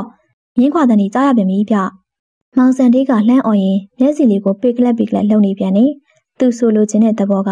နာနာဘောကဝိညာဉ်လောကသားတွေကိုတနက်နဲ့ပြစ်လို့မရဘူးဆိုတဲ့သဘော။ ဒါပေမဲ့တချို့ကလည်းဘယ်လိုနာနာဘောဖြစ်ဖြစ်လာရင်လာတနက်နဲ့ပြစ်မယ်။အဲ့လိုသဘောမျိုးနဲ့ဆက်လက်ပြေးလွှားသွားကြပြန်နေ။အဲ့လိုပြေးလွှားသွားကြသူတွေများပြားအဖြစ်တနက်တန်တွေစူညံသွားအောင်ပြီးဟိုမပြစ်ဒီမပြစ်နဲ့မှန်တန်ရန်တန်ပြစ်ခတ်နေတော့တယ်ဟဲ့ကောင်လေးကြည်စံတွေရမ်းမဖြုံးကြနဲ့ကွာတေချာပိုင်မှပြစ်ကာကွယ်ရေးခေါင်းဆောင်ဖြစ်သူကိုမောင်တန်းကအားပြဲကြီးနဲ့လှမ်းအောင်နေရတယ်ဒီမှာဂျပန်ကင်မေတိုင်းတက်မှမင်းကိုဘစခန်းတွင်ရှိရွာသူရွာသားတွေရဲ့ တနက်အင်အားတွေကိုတီးသွားလေသလားမသိဓမ္မမဟုတ်တရက်ပင်ခွာကြားမှာတင်ထားတဲ့အတန်ချက်ဆက်မှအော်ဟိနေတဲ့မကောင်းဆိုးဝါအတန်ကြီးကိုရွာသူရွာသားတွေကလက်အောင်လုံနေပုံကိုရိပ်မိသွားလေသလားမသိထင်သွားဟန်တူတယ်ဂျပန်တွေရဲ့တိုက်နီးတိုက်ခွဲပြူဟာကိုပြောင်းသွားပြန်တော့တယ်ရွာသားတွေကလည်းမြောက်တိုင်းမမြောက်၆တိုင်းနဲ့မကြောက်မဟုတ်လားမင်းကိုပါစခန်းကဆီယာမြဲကြီးနဲ့တပည့်ဖြစ်သူဘားတိုက်ဆိုသူရဲ့ကိုဂျပန်ကင်မီတိုင်စခန်းမှာဖမ်းမိထားတယ်သူတို့ကိုအသက်ရှင်နေပြန်ရွေးကျင်နေဆိုရင်တော့ မင်းတို့ရွာကလက်နက်ကင်တွေအလုံးလက်နက်ချလက်နက်မချဘူးဆိုရင်ဂျပန်ကင်မီတိုင်စခန်းကဘယ်လိုပညာပေးဆုံးမတတ်တယ်ဆိုတာမင်းတို့လည်းကြားဖို့မှာပါအတန်ချက်ဆက်ကြီးနဲ့ပြပြတတအော်ဟိလိုက်တဲ့အတန်ကြီးကိုရွာသူရွာသားတွေထူးဆန်းစွာပင်ကြားလိုက်ရတယ်။အဲ့တော့ဆရာမြကြီးနဲ့သူ့တပည့်ဘားတိုက်တို့ကိုဂျပန်ကင်မီတန်ဖွဲ့ကဖမ်းဆီးထားရဆိုပါတော့အေးလေပြောတော့ဖြင့်မင်းကိုပါစကန်းကိုစောင့်နေတဲ့မျိုးသားတရက်ကြီးကိုနှိမ့်နှင်းဖို့ရာရွာပြင်ကိုထွက်သွားတယ်ဆို အတင်းပြောဆိုနေတဲ့မိန်းမတွေစကားတွေကိုနားကြမြင်ကတ်လာတဲ့မောင်စံတွေကဟာနင်တို့တွေကဘာရဲလို့အတိအကျမသိရဘဲနဲ့ထင်ရမြင်ရစွပ်ပြီးဝေဖန်နေကြရပေါ့မိန်းမတွေအထင်ကြီးစရာရှင်းနေနင်တို့ပဲအထင်ကြီးတတ်ကြတာအဲအထင်သေးစရာရှင်းနေနင်တို့ပဲအခုဟာကတကယ့်နနာဘဝတစေလောကရဲ့တကယ့်ချောက်လိုက်မှုမဟုတ်ပဲဂျပန်ငပုတွေကတို့မြမာလူမျိုးတွေဟာတောင်ပူစာမြင်တွေ့ရင်စေရီပထိုးတီကျင်ကြတယ်ကြီးမားတဲ့တစ်ပင်ကြီးတွေကိုတွေ့ရင်နာမင်းကြီးရှိရဆိုပြီး ကိုယ်ကွယ်ပါတာကြတာတွေသိထားလေတော့အညာကိုကင်ပြီးထင်းအောင်ထင်းမားတို့ရွာသားတွေအလုံးအဆောင်မျိုးစားတရေကြီးက၆လက်နေဆိုတာစိတ်တက်၆ချောင်းလှုပ်ထားလိုက်တာဟာအိုးဟုတ်လားသူတို့ဂျပန်ငပုတွေလှည့်စားတာကတော်တော်ပြည့်ရပဲနော်ဒီဟာကိုလောကိသိပ္ပဝိဇ္ဇာဆရာမြဲကြီးကမသိဘူးတဲ့လားလူတိုင်းဟာဗုဒ္ဓဖေရရှင်တို့နေရတကဖယ်သိနေနိုင်မလဲဆရာမြဲကြီးဆိုတာကလည်းလူတွေကလူပဲမဟုတ်လားပြီးတော့ပြဿနာတစ်ခုကိုဘေးရင်ဆရာသွားမေးကြည့်ပါလားဘေးရင်ဆရာကလည်း ဘေးရင်နီးနဲ့ဝေဖန်သုံးသက်ပြမှာလေစိတ်ပညာသမားကလည်းစိတ်ပညာနီးနဲ့သိပ္ပံသမားကလည်းသိပ္ပံနီးနဲ့ဝိဇ္ဇာသမားကလည်းဝိဇ္ဇာနီးနဲ့စင်ကောင်ကြီးကိုမျက်မြင်ပုံနာ6ယောက်စမ်းတယ်လို့ထင်ရမြင်ရပြောကြမှာတမက်တာပဲပေါ့။အိုးဟုတ်တယ်ဟုတ်တယ်။ဘေဒင်နီးမှာတော့တချို့ဘေဒင်ဆရာတွေကအင်္ဂါဝိဇ္ဇာနီးတချို့ဘေဒင်ဆရာတွေကနက်ခတ်နီးနဲ့အိုးအမျိုးမျိုးရှုပ်နေတာပဲတော့။အဲ့ဒီလိုမင်းကိုပါစကန်တွင်ရှိရွာသူရွာသားတွေတယောက်တစ်ပေါက်ထင်ကြေးပေးနေကြခြင်းမှာ မင်းကိုပါစကန်ရွာထဲမှာတောင်ဝန်ရှိသူတွေခေါင်းချင်းဆိုင်ပြီးတော့ဆွေးနွေးကြလေ။တကြီးဦးထိန်နဲ့သူ့သားကိုမြသည်နဲ့ကာကွယ်ရေးခေါင်းဆောင်နှုတ်ဖြစ်တဲ့ကိုမောင်တန်ဗအောင်တို့ဖြစ်တယ်။ဂျပန်ငပုတွေကလက်နဲ့ချခိုင်းနေရဘယ်လိုလုပ်ကြမလဲ။ဟာလက်နဲ့ချလိုက်လို့ကတော့ဘယ်ဖြစ်မလဲဒီကောင်တွေရဲ့လက်အောက်ရောက်သွားရင်ကျုပ်တို့တရွာလုံးမိန်းမတွေယောက်ျားတွေပါသူတို့ရဲ့လက်ခုပ်ထဲကရှိလို့တုံလို့တုံမှောက်လို့မှလှုပ်ပြမှာပေါ့ကိုမောင်တန်းကရွာလူတို့ရဲ့ရှေးရေးကံကြမ္မာကိုရှေးရှုပြီးတော့အကြောက်ကညင်းဆန်ပြီးပြောလိုက်တယ် ဒီလိုဆိုဆရာမြတ်ကြီးကျုပ်အကိုကြီးတို့ကိုနည်းနည်းလွတ်ခဲပြစ်ထားကြတော့မှာလားဗျ။အိုးကွာဘာအောင်ကလည်းမင်းရဲ့အကိုကြီးတို့အတွက်စိုးရင်ပူပန်နေပါရောလား။ဟာဗျာကျုပ်တို့ကပြေးကြည့်တော့မှဒီညီကိုနှစ်ယောက်တည်းရှိရမဖြစ်ဖြစ်တဲ့နည်းနဲ့တော့ကဲရမှာပဲ။အမလီပူမနေပါနဲ့ကွာမင်းရဲ့ကိုနဲ့ဆရာမြတ်ကြီးကိုဘယ်လိုကဲတင်နိုင်မလဲဆိုတာအကောင်းဆုံးစဉ်းစားကြည့်ကြတာပေါ့သူတို့တိုင်ပင်ဆွေးနွေးချိန်မှာရွာပြင်ဘက်ရှိဂျပန်စစ်တပ်မှအတန်ချက်ဆက်နဲ့မြန်မာလူပင်မင်းကိုပါစကန်စီကိုလှမ်းអော်လိုက်ပြန်နေ။ အော်နေသူကတော့တခြားမဟုတ်ဂျပန်ကင်ပီတိုင်းစကန်မှာဂျပန်စာလက်မောင်းအနီးပန်နဲ့လူပင်မင်းကိုပါစကန်ကတာဝန်ရှိသူတွေခမညာခမညာတို့ကိုအချိန်၃ရက်ပေးမယ်ပေးထားတဲ့အချိန်၃ရက်လွန်ရင်တော့မင်းတို့ရွာကဖမ်းမိထားတဲ့လူရဲ့အလောင်းတွေကိုရွာတကားပုံမှန်သာဖွင့်ကြည့်ကြပြီးတော့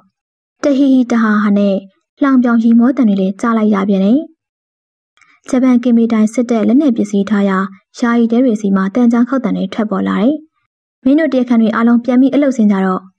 ဂျပန်စစ်ဘိုခဝါဘီရဲ့လူယုံတော်ဖြစ်သူလက်မောင်းလက်ပတ်နဲ့လူကပြောလိုက်တာကြောင့်အဖက်ခံထားရတဲ့ဆရာမြကြီးတို့ဆရာတပည့်နှစ်ယောက်နဲ့ရွှေဝင်းအောင်တောင်အပါဝင်တခြားရွာမှာရွာသားသုံးယောက်တို့ပြန်လည်အလုပ်ဆင်းရပြန်တယ်။ခက်လန်းလန်းစီမှာအဆောင်ဂျပန်တွေကလက်နက်ကိုစီကန်ပြီးတော့မျက်ခြေမပြတ်စောင့်နေကြတယ်။လက်နက်ပစ္စည်းထားရာယာယီတဲတွေနေရှိရုံငန်းတပွဲလောက်ထားတဲ့တဲတခုတွင်းမှာတော့မျက်မှန်တက်ထားတဲ့မြန်မာတိုက်ပုံအင်ဂျီပိုးလုံးကြီးတွေကိုဝစ်ဆင်ထားတဲ့ ဂျပန်တို့ရဲ့လူယုံတော်ဖြစ်သူလက်မောင်းအနီးဘက်ပါတဲ့လူကခြေစုံရက်ကအလေးပြလိုက်တယ်။ဂျပန်စာရီရေးပြီးမှတ်တမ်းတင်နေတဲ့ဂျပန်ကင်ပေတိုင်ကိုခဝါပြီးကမော့ကြည့်လိုက်တယ်။ပြီးတော့ခေါင်းညင်ကအလေးပြန်ပြလိုက်တယ်။ဘာတရင်ထူးသေးတဲ့ကြိုတန်ကျွန်တော်လည်းအမျိုးမျိုးလှည့်ပြီးတော့ဒီမင်းကိုပါစကန်အနီးဝန်းကျင်တွေမှာရှိရဲ့အရှိဘက်ဆိုရင်မဲစင်ပင်သားရွာတောင်ဘက်ဆိုရင်အောင်ကုန်းမိုင်းလန်းရွာမြောက်ဘက်ဆိုရင်ကစွန်ရွာမကြီးနဲ့ကန်တာရွာအနောက်ဘက်ဆိုရင်ပွဲလာကုန်းတောင်ရွာအင်းပြရွာတွေထိလှည့်ပြီးဆုံစမ်းခဲ့တယ်။ အခုထိတော့ဘာသတင်းမှမထူးသေးပါဘူးမာစတာ။ဂျပန်ကင်မီတိုင်းစစ်ပလိအရာရှိဖို့ခဝဘေကအတန်ကြာအောင်တွေးတော့စဉ်းစားနေရမှာမြမမျိုးချစ်တော်လိုင်းသမားတွေဟာ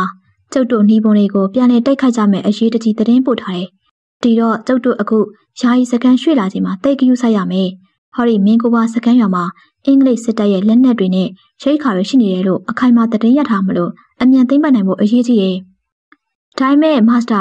သူတို့ရောင်မှာရှိတဲ့လက်နက်လူရင်းရနဲ့ အခုကျွန်တော်တို့တက်စိတ်လေးတခုဟာလူအင်အားရောလက်နက်အင်အားပါမမျှသေးပါဘူး။ဒါကြောင့်လေဒီမင်းကိုဘရွာကိုစိတ်တက်ချောက်ချအမောင်ပြောကပြင်လှုပ်ထားပြီမဟုတ်လား။ဒီသုံးရက်အတွင်းမှာသူတို့ရွာသားတွေကြောက်လန့်ပြီးဖမ်းထားတဲ့စစ်တုံးပန်းတွေကိုလာပြေးကိုရွှေ့လိုက်မယ်ပူကြနဲ့။ကြားပါတယ်မာစတာ။သူတို့လူတွေကိုလာပြီးမရွေးခင်ကူလီအလုပ်ပင်ပန်းမပြတ်ခိုင်းပြီးနှိမ့်ဆက်ထားပါမယ်ဗျ။အေးကောင်းပြီမောင်ချိုတန်းအလုပ်ကိုစူးစား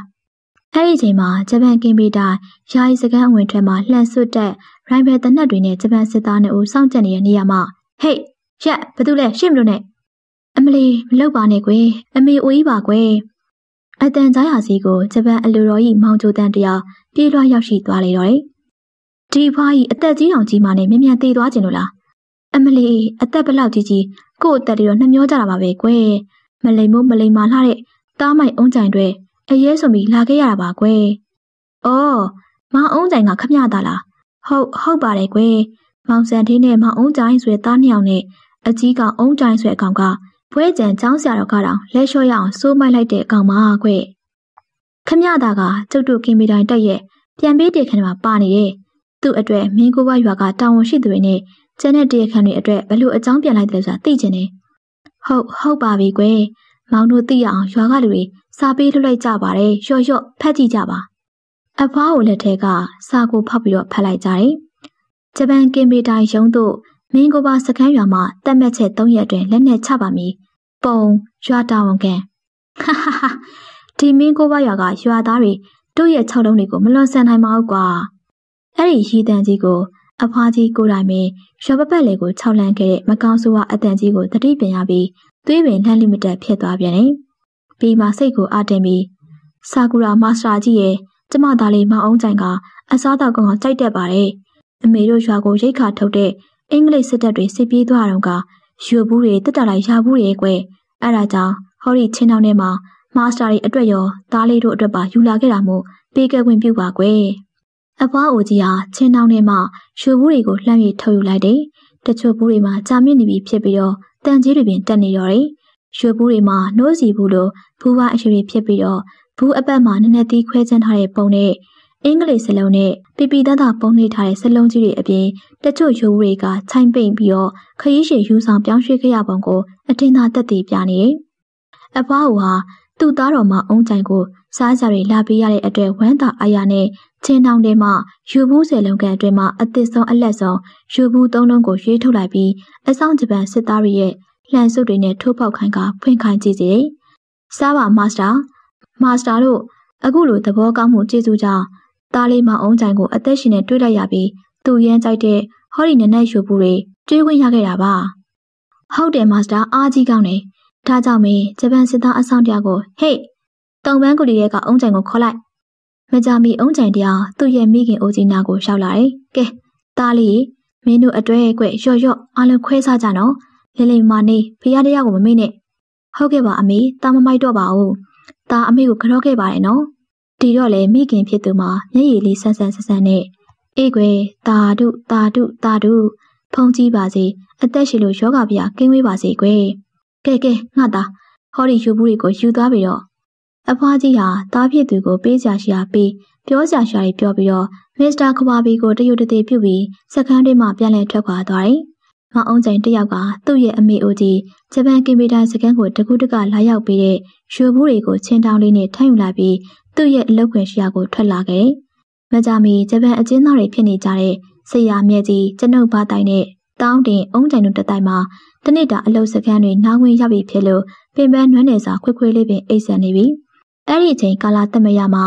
ဂျပန်တပ်မတော်ဟာဗမာဒေါ်လာရေးရဲဘော်တွေရဲ့တံပြန်ထိုးစစ်တန်းချက်ကိုမရှုမလခံနေရတဲ့အချိန်ပင် ဗမာတပ်မတော်ရဲ့စစ်ရင်အားမှာခြေလင်တပ်ရင်ခုနှစ်တပ်စက်မှုလက်မှုတပ်ရင်နှစ်တပ်လေးကျင်ရေးတပ်ရင်တစ်တပ်နဲ့အမြောက်ကြီးတပ်တွေစက်အမြောက်လေးတပ်တွေနဲ့တည်ယူပို့ဆောင်ရေးတပ်တွေပါအင်အားတော်တော်များတိစောက်ပြီးသားဖြစ်နေတယ်။ဂျပန်တပ်မတော်ဌာနချုပ်ရဲ့အစီအစဉ်ကိုစန့်ကျင်ပြီးမြန်မာတပ်မတော်ဟာတစုံတစ်ခုလေးနဲ့တဲ့အကြံစီရှိလိမ့်မယ်လို့မယုံကြည်ခဲ့ပါကြီး။တည်ယူပို့ဆောင်ရေးခက်ခဲတွေကြောင့်လက်ကရန်သူမဟာမိတ်တွေရဲ့လေကြောင်းနှောက်ယှက်မှုကြောင့်လက်ကဂျပန်တပ်တွေမှာပေါင်းစည်းခြင်းမှ နှေးကွေးနေချိန်မှာမြမတော်လိုင်းရဲဘော်တွေကစိတ်အားထက်သန်စွာရှေ့ပြောင်းခြင်းနေရာယူခြင်းတွေပြုလုပ်နေပြီးတော့မြမတပ်မတော်ဟာပြင်းထန်စွာလေ့ကျင့်ခန်းတွေစတင်ဆင်နွှဲနေခြင်းဖြစ်တယ်။အဲဒီချိန်ကာလမျိုးမှာမင်းကိုပါစကန်နဲ့မနီးမဝေးမှာစကန်ချနေကြတဲ့ဂျပန်ကင်ပေတိုင်းစကန်တစ်ခုလုံးမှာစိတ်ငြိမ်နေလျက်ရှိတယ်။ကင်ပေတိုင်းတစ်စကန်လုံးရှိဂျပန်စစ်သားကိစ္စနှုံးမှာလည်းကင်းတဲ့ပေါ်မှာအိမ်ငိုင်နေချိန်အဲ့ဒီချိန်မှာမသေးမကွဲသောလှုပ်ရှားနေမှုတက်တံတွေကိုတွေ့မြင်ကြရပေမယ့် အုံးကြိုင်တဲ့တောင်းတင်မင်းတို့ဆရာမြဲကြီးအနားမှာတင်ထားတဲ့ရွှေဘူးချင်းတော်တွေယူလာခဲ့ပြီမဟုတ်လားယူလာခဲ့ပါပြီကိုပါတိုက်ဆရာမြဲကြီးကတော့သူ့ရဲ့အနားမှာတရားထိုင်နေတာမို့လိုက်မနေပါနဲ့တဲ့ကျွန်တော်တို့လူငယ်၃ယောက်တည်းဖြစ်ပါတယ်လို့ပြောခဲ့တယ်အေးအေးဖြစ်ပါတယ်မင်းတို့သာရွှေဘူးတွေကိုကောင်းကောင်းယူလာခဲ့ကြအစင်းနဲ့ပါလာပြီကိုပါတိုက်ရော့ဒီဆေးလိပ်တွေကိုအသာချိုးပြီးအတွင်းကစနစ်တန်တွေဆွဲထုတ်ကြစစ်တပ်အတွေ့အကြုံရှိခဲ့ပြီးကိုပါတိုက်ရဲ့ဥဆောင်ညွှန်ကြားပေးနေတဲ့အတန်က ထပ်မံတပံထွက်ပေါ်လာပြန်တယ်။သူတို့ရဲ့ယာယီရိတ်ခါကိုတော်တွေနဲ့သူတို့အိတ်တဲ့အဆောင်တဲနားမှာများများချထားနိုးလာတဲ့ကင်းသမားတွေကိုအားလုံးဆောင်ပြီးတော့ရှင်းကြမယ်။ကျွန်တော်တို့အားလုံးကြည့်ပြီးတော့စီစဉ်ခဲ့ပါမယ်။ဆရာမြကြီးနဲ့ကိုပါတိုက်တို့သာထွက်ပေါက်ရအောင်အရင်စီစဉ်ထားပါ။အန်ရရှိရင်ဂျပန်ကပုတွေနိုးလာလို့ဝိုင်းလာမယ်ဆိုရင်နက်နက်ယူဘူးလက်ပစ်ပုံးနဲ့ခံထုတ်ရမယ်။နက်နက်ယူဘူးအဝိုင်းပြမှာစနစ်တန်တက်ဖို့အပေါက်တွေတွေ့ရလား။အားလုံးသိပါပြီ။ခြေတယ်မကြောင်ဖော်ရည်နေက သုံးယောက်သာလူစုခွဲသွားကြပုံမှာညက်ညက်လွှာယုံမှာကြက်ပြောင်ငှက်ပြောက်ပင်ပျောက်ကွယ်သွားပါလေတော့တယ်။အမောင်တို့ကမင်းမူချက်လက်လျက်တလောကလုံးပို့ကြနေတို့ရမှာအမောင်ရဲ့အစွန်းဆုံးကာလအချိန်ဒီမှာမုတ်ချမလွဲမသိပြောင်းလဲလာကြမှာအေကံမရဲပင်။ဘောင်ဘောင်ဆိုတဲ့၆လုံးပြူကြည်စံလိုလိုရိုင်းဖေးကြည်စံလိုလိုပောက်ဝဲတန်တက်ချက်ဟာတိတ်ဆိတ်နေတဲ့တကောင်းရံကာလကိုရုတ်တရက်အတွင်ဖြိုခွဲလိုက်တယ်။အဲဒီနောက်တစ်ဆက်တည်းလိုလိုပင်မိဟေးမိလောင်နေမိမိ